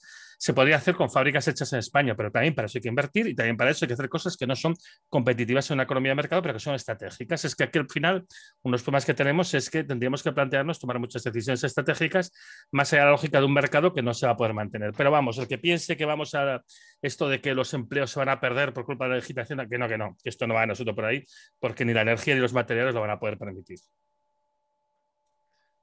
Eh, a mí me gustaría eh, referenciar un estudio que ha, sacado hace poco el Observatorio de la Deuda en la Globalización, que se llama eh, Pactos Verdes en tiempos de pandemias, que, que habla no solamente de los conflictos eh, socioambientales que habrán, de dónde tendremos que sacar los materiales en tema de transición energética, sino también en la digitalización. Entonces hay un capítulo que trata eh, sobre todo de, esta parte, de digitalización. Así que los lo podéis descargar desde la propia página de internet. Eh, muy recomendable. Además, analiza los diferentes pactos que hay y, los contrasta. Entonces, ah, bueno, una recomendación en el cual si os lo leéis eh, os podrá aportar mucho más de lo que os podría aportar yo ahora mismo, resumidamente. Bien, podemos seguir. Mirad, son menos 10 y vamos por la pregunta 7 y nos quedan 20, así que mm, vamos a ir un poco. Yo creo que estas dos que vienen ahora podían ser eh, más o menos parecidas, con lo cual la, la lanzamos yo y Inma y después eh, vemos si, tenéis que, algo que decir eh, ligeramente, ¿vale? A raíz de este aspecto que decía Antonio Turiel de llevarse nuestra energía a Alemania, ¿sería una buena opción plantearnos salir de la Unión Europea? El problema es el miedo a la desprotección militar, claro. ¿Se está planteando desde algún grupo político o movimiento social ecologista? Esta que la conteste Alba. No, pero es que, eh, perdona Antonio, a ver, Juntamos, juntamos la siguiente y ahora lo decimos, ¿vale? Vamos a seguir un poco uniendo preguntas para que se haga más cortito.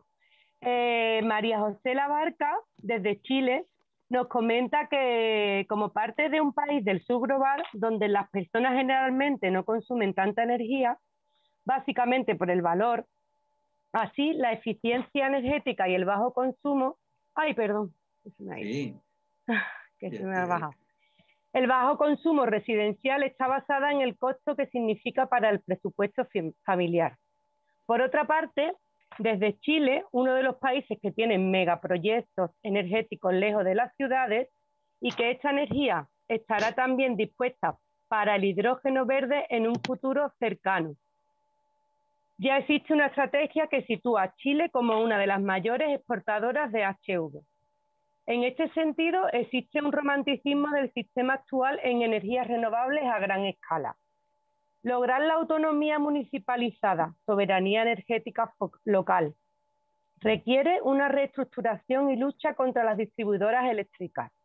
Y por, otro lado, la inversión a nivel de vivienda o comunidad es excluyente en el financiamiento, ya que con la actual crisis no existen los recursos justamente donde las personas más lo necesitan en su opinión, hay que revelarse.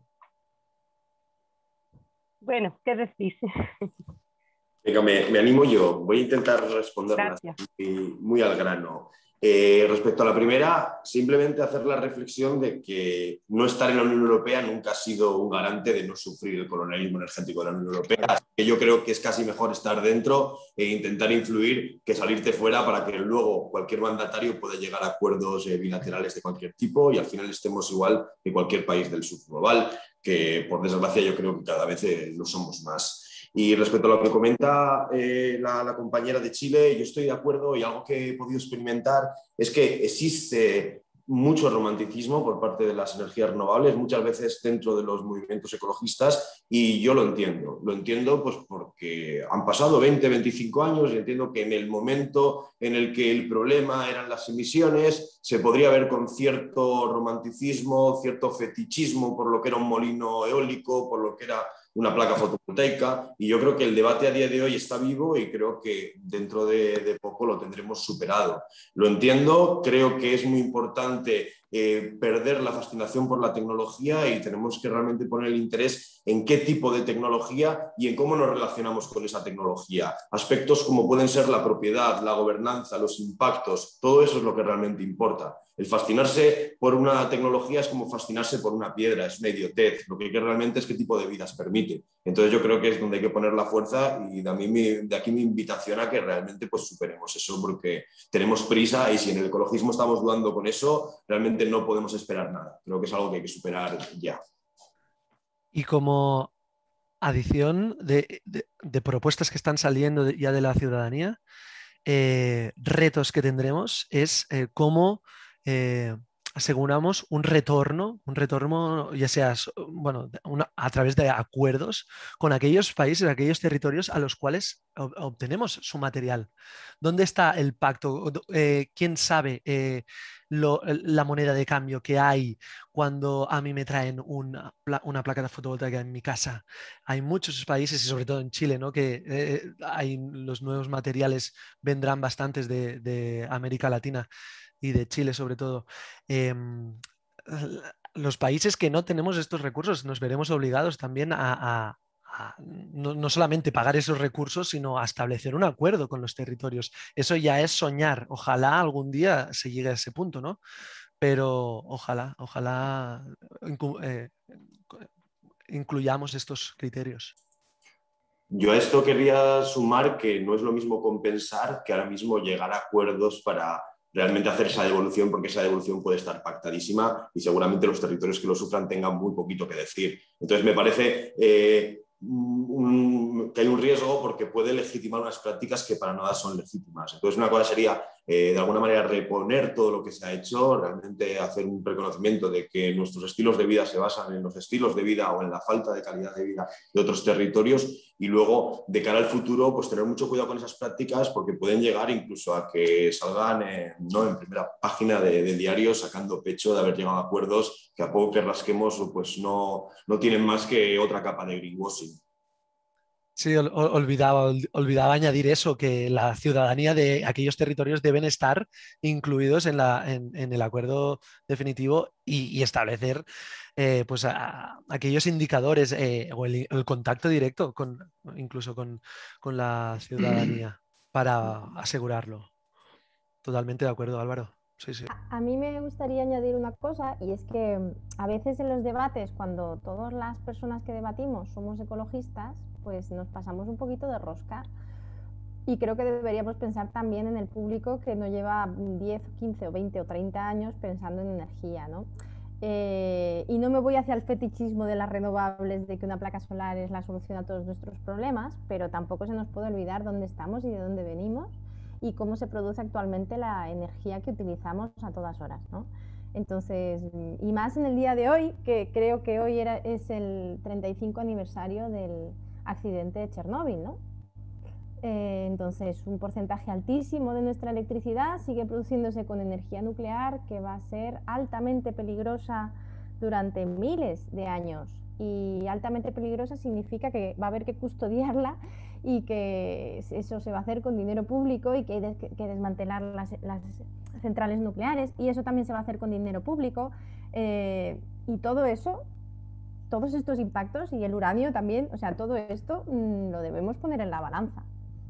Con el gas, con el petróleo, con el carbón, o sea que cuando le sacamos hasta el último mm, poro punto negro de la cara a una placa solar y decimos lo chunga que es, mm, yo pediría a todos mis compañeros ecologistas que también en la balanza habláramos de lo que tenemos a día de hoy.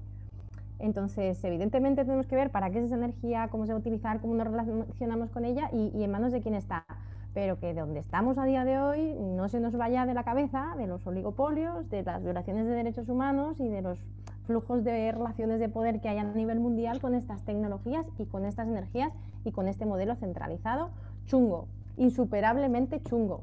¿Vale? Entonces, por muy chungas que sean las placas solares y los aerogeneradores, luego le ponemos todas las, mm, las pejigas al, modelo, pero que lo que tenemos a día de hoy es, es, un modelo asesino ¿no? del planeta y de la gente. Entonces, eh, que no me gustaría que se fuera ahí la gente pensando, yo sé que aquí todo el mundo es crítico, está muy informado y es muy inteligente, pero también hay gente que no lleva 20 años pensando en esto y que igual el mensaje lo toma por otro lado. Y creo que es importante poner estos impactos en la mesa también. Vale, seguimos. Estamos Eh, ya a un minutito de, de las 8. Recordaros, bueno, igual hay tiempo alguna preguntita más y no sé si podemos alargarnos un poquito más. Pero antes, por si acaso, antes de que se vaya yendo la gente, quería recordar que mañana tenemos otra actividad eh, también de, de 6 a 8 y media, ¿vale? Eh, se llama La izquierda política andaluza ante el colapso del capitalismo industrial. ¿Vale? Bueno, que va a haber muchas actividades que seguimos con esta, con esta campaña hasta junio. Y bueno, Fernando y Inma, o- o- os dejo continuar a ver si podemos responder alguna preguntita más. Vale.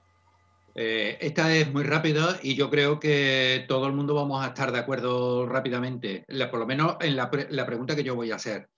Dice, eh, ¿son las puertas giratorias uno de los problemas en España para hacer una transición energética justa?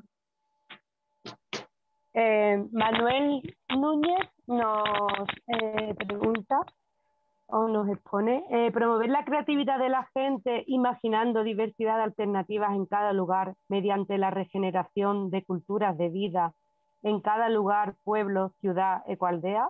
Muchas gracias y rogamos que seáis breves en las intervenciones, por favor, para poder seguir con más preguntitas. Gracias.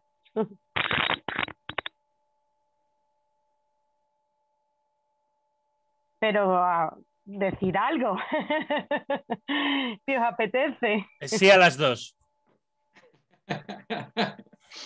Vale, pues seguimos. A ver, eh, quizás la- estas, dos, estas dos preguntas mm, vienen más dirigidas a Antonio Turiel. En la primera no lo explica, no lo explica Juan Manuel Méndez, pero puede, pero quizás mm, tú te sientes interpelado. Dice, me preocupa el tema de cuánto tiempo disponemos para hacer esa transición ordenada. No sé si se pueden arrojar algo de luz al respecto. Y la siguiente, Isma. Pedro Herrera eh, quería preguntarle a Antonio Turiel si está de acuerdo con JM Greer en que, se, en que se seguirá aumentando los combustibles líquidos a toda costa, aunque sigan siendo antieconómicos, como ya se vio con el fracking. La política se impone a la economía. A ver, ah, lo de la transición ordenada, eh, ¿cuánto tiempo disponemos? Bueno, ya es es evidente que estamos llegando tarde. Al mismo tiempo, estamos a tiempo siempre de hacerlo. O sea, en ese sentido no nos tenemos que volver locos. Siempre estamos a tiempo de cambiar. Cuanto más tardemos, pues peor lo pasaremos y más dificultades tendremos. Pero no es un tren que ha pasado y ya no se puede coger. Eh, Simplemente es las dificultades que tendremos. Con respecto a lo que dice yo Michael Greer, del tema de que si se va a aumentar la producción de combustibles líquidos a toda costa, claro, evidentemente. O sea, las petroleras han dejado de invertir con la esperanza de que los estados nacionalicen los yacimientos y nacionalicen la parte del negocio que no les interesa eh, para poder seguir ganando dinero ellos y socializar la pérdida esta. Entonces, como el petróleo es indispensable, porque el problema es que hay ciertas actividades que si no hay petróleo dejan de funcionar y se va todo el orden social al carajo, pues obviamente que los estados van a meter dinero para mantener la producción de combustibles líquidos y por eso no va a caer tan rápido como podría. Pero, pero evidentemente esto va a ser a costa de ir desmantelando más el estado del bienestar. Esto va a ser así. ¿eh? En referencia a la pregunta de puertas giratorias, no es, no es que no es solamente puertas giratorias, es que también se establecen, o sea, que, que como no hay establecidos procesos participativos ni vinculantes o potenciar la información, la transparencia, luego lo que pasa también es que ah, nos encontramos con influencia en, las regulaciones de los ministerios o conse- consejerías de estudio, y, y, po- por ejemplo, en la contratación de estudios. Estudios que por 500, 700 mil euros eh, sirven para validar el Real Decreto, por, por ejemplo, de autoconsumo para panelizar las instalaciones fotovoltaicas en aquel momento. Pero siguen habiendo así, siguen habiendo diferentes estudios en este sentido. Y esto tampoco se, se pone mucho encima de la mesa. Es, es decir, no, no necesitamos solamente eh, terminar con las puertas giratorias, sino que necesitamos transparencia al 100% y, y procesos y más procesos participativos para que la- los organismos, la- los, los colectivos organizados, la gente, la ciudadanía también pueda decir la suya. Mirad, hay una preguntita uniendo con esto que acaba de aportar Roger y con la pregunta anterior eh, que no es que no corresponde. Sí, Perdón un momento, eh, que eh, igual hay gente que se tiene que empezar ya. Álvaro me comentaba que en unos minutos igual se tiene que ir por Sí, tenerlo en cuenta.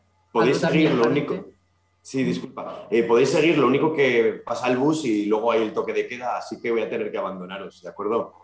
Vale. De acuerdo. Pues nada, un placer agradeceros a la organización, eh, al resto de participantes y, que, bueno, seguir con estas cosas que yo creo que son muy necesarias. Un abrazo a todas, ¿de acuerdo? Muchísimas gracias. Gracias, Álvaro. Gracias, Álvaro. Gracias, Álvaro. Sí, sí, Fernando, ¿querías concretar alguna cosa que te cortaba ahí? Sí, porque la pregunta 17 eh, no, viene, no es correspondiente con esta, pero tiene mucho que ver, porque Elias Bosch Bennett eh, pregunta, ¿se podría impulsar una ILP, una iniciativa legislativa popular para prohibir las puertas giratorias? Y como se, están, se ha estado hablando de este tema, pues a lo mejor pegaba que, que pudiéramos unirlo. Bueno, yo creo que sería muy útil y que además lo que evidenciaría son los procesos, como, como dice también Roger, ¿no? que no solo es el, político o la política que pasa a un consejo de administración, que hay muchos otros procesos. Por ejemplo, en el sector eléctrico, uno de los problemas que tiene es la, tremenda complejidad, es la opacidad por un lado y la complejidad. Al final solo pueden participar aquellas empresas o aquellos agentes que sean hiper especializados. ¿Y cuál es el problema? Pues que eh, por un lado es excluyente y por otro eh, que muchos eh, altos funcionarios de la administración pública, una vez acaparan todo ese conocimiento de manejo del sector, se van a una empresa privada a defender sus intereses en lugar de defender los públicos. Entonces yo creo que tiene que haber todo eso, ¿no? Simplificación normativa para que cualquier agente, cualquier empresa pueda entrar a participar y para que la ciudadanía pueda haber una rendición de cuentas y una participación y por otro lado, sí, las puertas giratorias, pero a la vez no, nos pillemos los dedos, o sea que también que la gente que se meta en política luego pueda trabajar en el sector del que viene, porque también se da eso, que se acusa de puertas giratorias a alguien que trabajaba en una empresa de energía, entra a un cargo de gobierno en el sector energético y luego vuelve a otra empresa y le dicen, no, puerta giratoria, oiga, esto hay que pensarlo. Porque si no, al final nos quedamos en política, pues nuevamente, que solo participan en, los partidos, pues las élites que se lo pueden permitir y a las que luego van a colocar eh, sus amigos en empresas de cualquier... Entonces hay que, eh, lo de una reforma de este tema me parece que hay que pensarla mucho, es muy necesaria, pero no de venganza, sino a modo de con cabeza. Y si me dejáis, recomiendo un documental maravilloso que se llama Oligopolio Off, empieza la revolución energética ciudadana. Genial, pues si lo puedes escribir el, enlace en el chat, ahí lo tenemos directamente. Es un poco hablar de mi libro, pero como mi libro lo hemos hecho entre mucha gente, pues ya no, no es tan vergonzoso. Yo también lo recomiendo. Vale, pues yo, yo, diría de ir, de ir, ir concluyendo, eh, porque me imagino que habrá gente que igual se está desconectando ya y, y, no sé, hacer una recogida final, si queréis hacer alguna, alguna aportación o alguna cosa. Fernando, Inma, yo no sé si queréis alguna, alguna conclusión final o... Bueno, sí, eh, más que nada no preguntas, pero sí un poco mensajes que han enviado también, ¿no? De crear redes de, con, comunidades, pueblos en transición, ecoaldeas, culturas indígenas, tradicionales regenerativas, sociedades de vida sustentable. Por aquí teníamos más mensajes así esperanzadores también. Eh, la forma de construir es otra clave. Eh, permacultura y sociocracia, bueno, todas esas cosas no nos dicen por aquí, por el chat.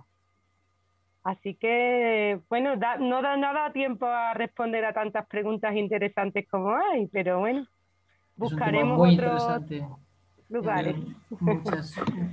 sí, mira, de todas maneras, de todas maneras, voy a, voy a lanzar una preguntita para una cortita intervención de cada ponente, si les parece, de una preguntita que pregunta José Antonio de, que se reidentifica como de Son Energía y que dice lo siguiente, y por terminar, mm, tal y como esto es por terminar, es para terminar, dice, estoy intentando crear una comunidad energética donde vivo, aunque sé que es mala solución, no por la comunidad energética en sí misma, sino por cómo lo pretenden legislar pensando más en un agente de mercado que en un actor local de la economía circular. Además de la poca concienciación ciudadana que hay sobre la transición energética y porque según el ritmo que se está evolucionando el colapso, o mejor dicho, los pequeños colapsos que viviremos en los próximos años, puede que todo el trabajo que haga se convierta en baldío. Me gustaría saber qué me dicen los oradores para infundirme ánimos, que hagan por un momento de coach emocional ante la crisis energética, por favor. No solo lo pide José Antonio, sino también algunos de los que estamos aquí.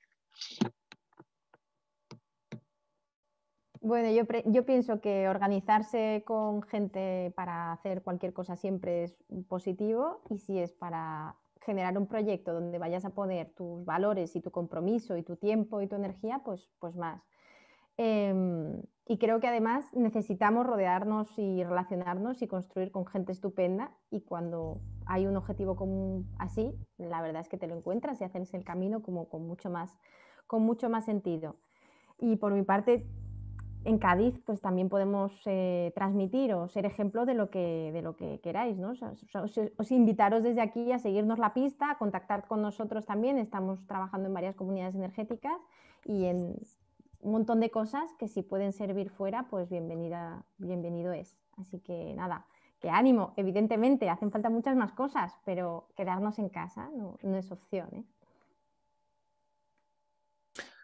Bueno, yo lo que querría decir es que en este momento tenemos muchísimo conocimiento, muchísima experiencia y muchísima idea de lo que hay que hacer. Y de alguna manera yo creo que para todos el hecho de que empiece a desmoronarse una manera de hacer que todos sabemos en el fondo que no está bien y que es insostenible, va a ser una liberación. Entonces, eh, yo creo que hay que coger ese espíritu de liberarnos de algo que sabemos que está mal y que está corrompiendo la tierra y que nos está corrompiendo a nosotros para eh, coger ese impulso y hacer muchas cosas positivas. Y se pueden hacer. Yo creo que en general lo que sucede es que estamos tan convencidos de que este es el único sistema posible que nos da miedo la posibilidad de cambiar. Pero al contrario, no hay que tener miedo. Es decir, hay que comprender que es algo que va a ser algo mejor, que va a ser para mejor y que la gente muchas veces te sorprende. Y como digo, hay mucho conocimiento y mucha capacidad de mucha gente con ganas de hacer cosas, como ha dicho, como ha dicho Alba. Entonces, eh, en vez de verlo como una experiencia negativa, hay que verlo como una experiencia de poder crecer, poder recuperar, poder reconstruir. Y se puede hacer. Si se cree, se hace. Bueno, yo me pregunto qué habría pasado si eh, Heisberg, eh, el holandés que normalmente se cita cuando se habla de su energía en su creación, Mark eh, Rosselló, eh, Carlas, Eduard, Nuri, hubieran pensado, em, ostras, eh, ahora queremos autoabastecernos y crear una cooperativa, pero claro, es que si luego la regulación no nos favorece, ¿y qué ha pasado? Pues que la, regulación nunca nos va a favorecer del todo, del todo, pero sí que nos va a, ofrecer oportunidades. Es importante que nosotros ganamos esa, e, e, esa lucha contra el, sistema que nos quieren imponer las grandes empresas. Cuando tú empiezas a organizarte y empiezas a formarte y empiezas a hablar con la gente de los problemas que hay eh, en la sociedad y, los compartís y los visualizáis y decimos, eh, ¿qué queremos? Queremos un mundo, queremos, no un mundo mejor, ya no vayamos tan lejos, queremos dejar algo eh, mejor para las que vengan luego, para nuestras hijas, nuestros hijos. O sea, simplemente con este motivo eh, ya hay una motivación eh, más que descarada que para, empezar un proyecto y, no darte por, vencido antes de empezar. O sea, solo faltaría.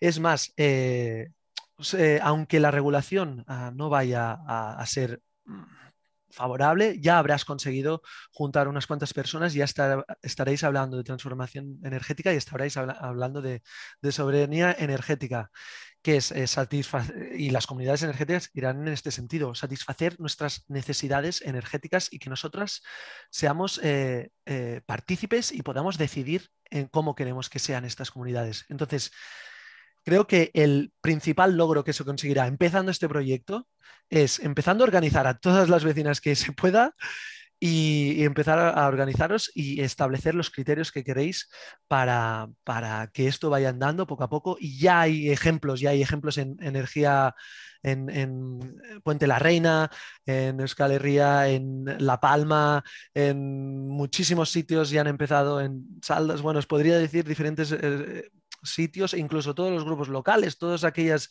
eh, colectivos que han decidido juntarse para satisfacer estas necesidades y intentar solucionar estos conflictos, estos problemas que, estamos viviendo, esto ya será un gran logro y sobre todo para poder explicárselo que nosotros al menos hemos hecho lo que hemos podido. Ya está. Muy bien.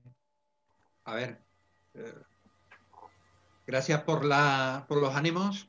Eh, eh, nos, seguiremos viendo en el camino y espero encontrarnos, que nos podamos encontrar mm, en, el, propio camino y en la lucha con, lo que llevamos, pero además disfrutando, porque estar aquí ha sido un goce con todos vosotros. Sí, muchísimas gracias por todas las aportaciones. Y invitaría ahora igual a todas las personas que estén por ahí, no sé si se les ha habilitado ya la, opción de que puedan ir eh, activando sus cámaras para que ahí todavía quedan 71 personas aquí, ya son casi cuarto. Bueno, sí, agradeceros a vosotros eh, por organizar esto y, y ojalá podamos hacer estos debates presenciales pronto y vernos y, tirarnos luego charlando sobre energía, porque hoy han salido 24 preguntas, pero da tela, aquí hay tela para cortar durante, durante tiempo y yo creo que hay mucha gente de colectivos y organizaciones que seguro que tiene cosas que decir interesantísimas y que ya está además haciendo proyectos por aquí. Nosotros en realidad somos una representación, yo de Cádiz, pero los demás de fuera y seguro que en Andalucía tenemos proyectos de verdad que merece la pena dar a conocer. Yo me voy con ganas de volver a vermela en diferido, de verdad. Y recordar, ahí acabo de poner, bueno, ya está escribiendo la gente, se ha quedado un poco atrás, pero el enlace a inscribiros a la actividad de mañana.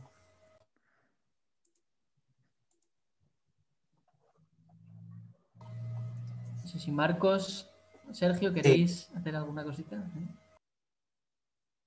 Bueno, nada, dar las gracias a todas las personas que han intervenido hoy en la tertulia. La verdad que ha sido una gozada. Yo he aprendido mucho, he disfrutado también un montón.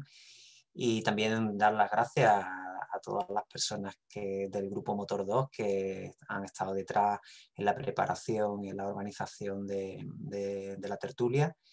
Y nada, y, gracias a todas vosotras que, que, estáis aquí, ¿no? Y que hemos estado pues hasta 140 personas entre Zoom y YouTube hoy en la tertulia y, que, bueno, y pediros que, que, hagamos un poco de, de agente multiplicador, ¿no? De, de, un poco de las ideas fuerzas ¿no? que han salido hoy en la tertulia y, que aprovechemos pues, esta energía para, para fortalecer la autoorganización social y, y, poder hacer la transición energética pues, lo mejor posible.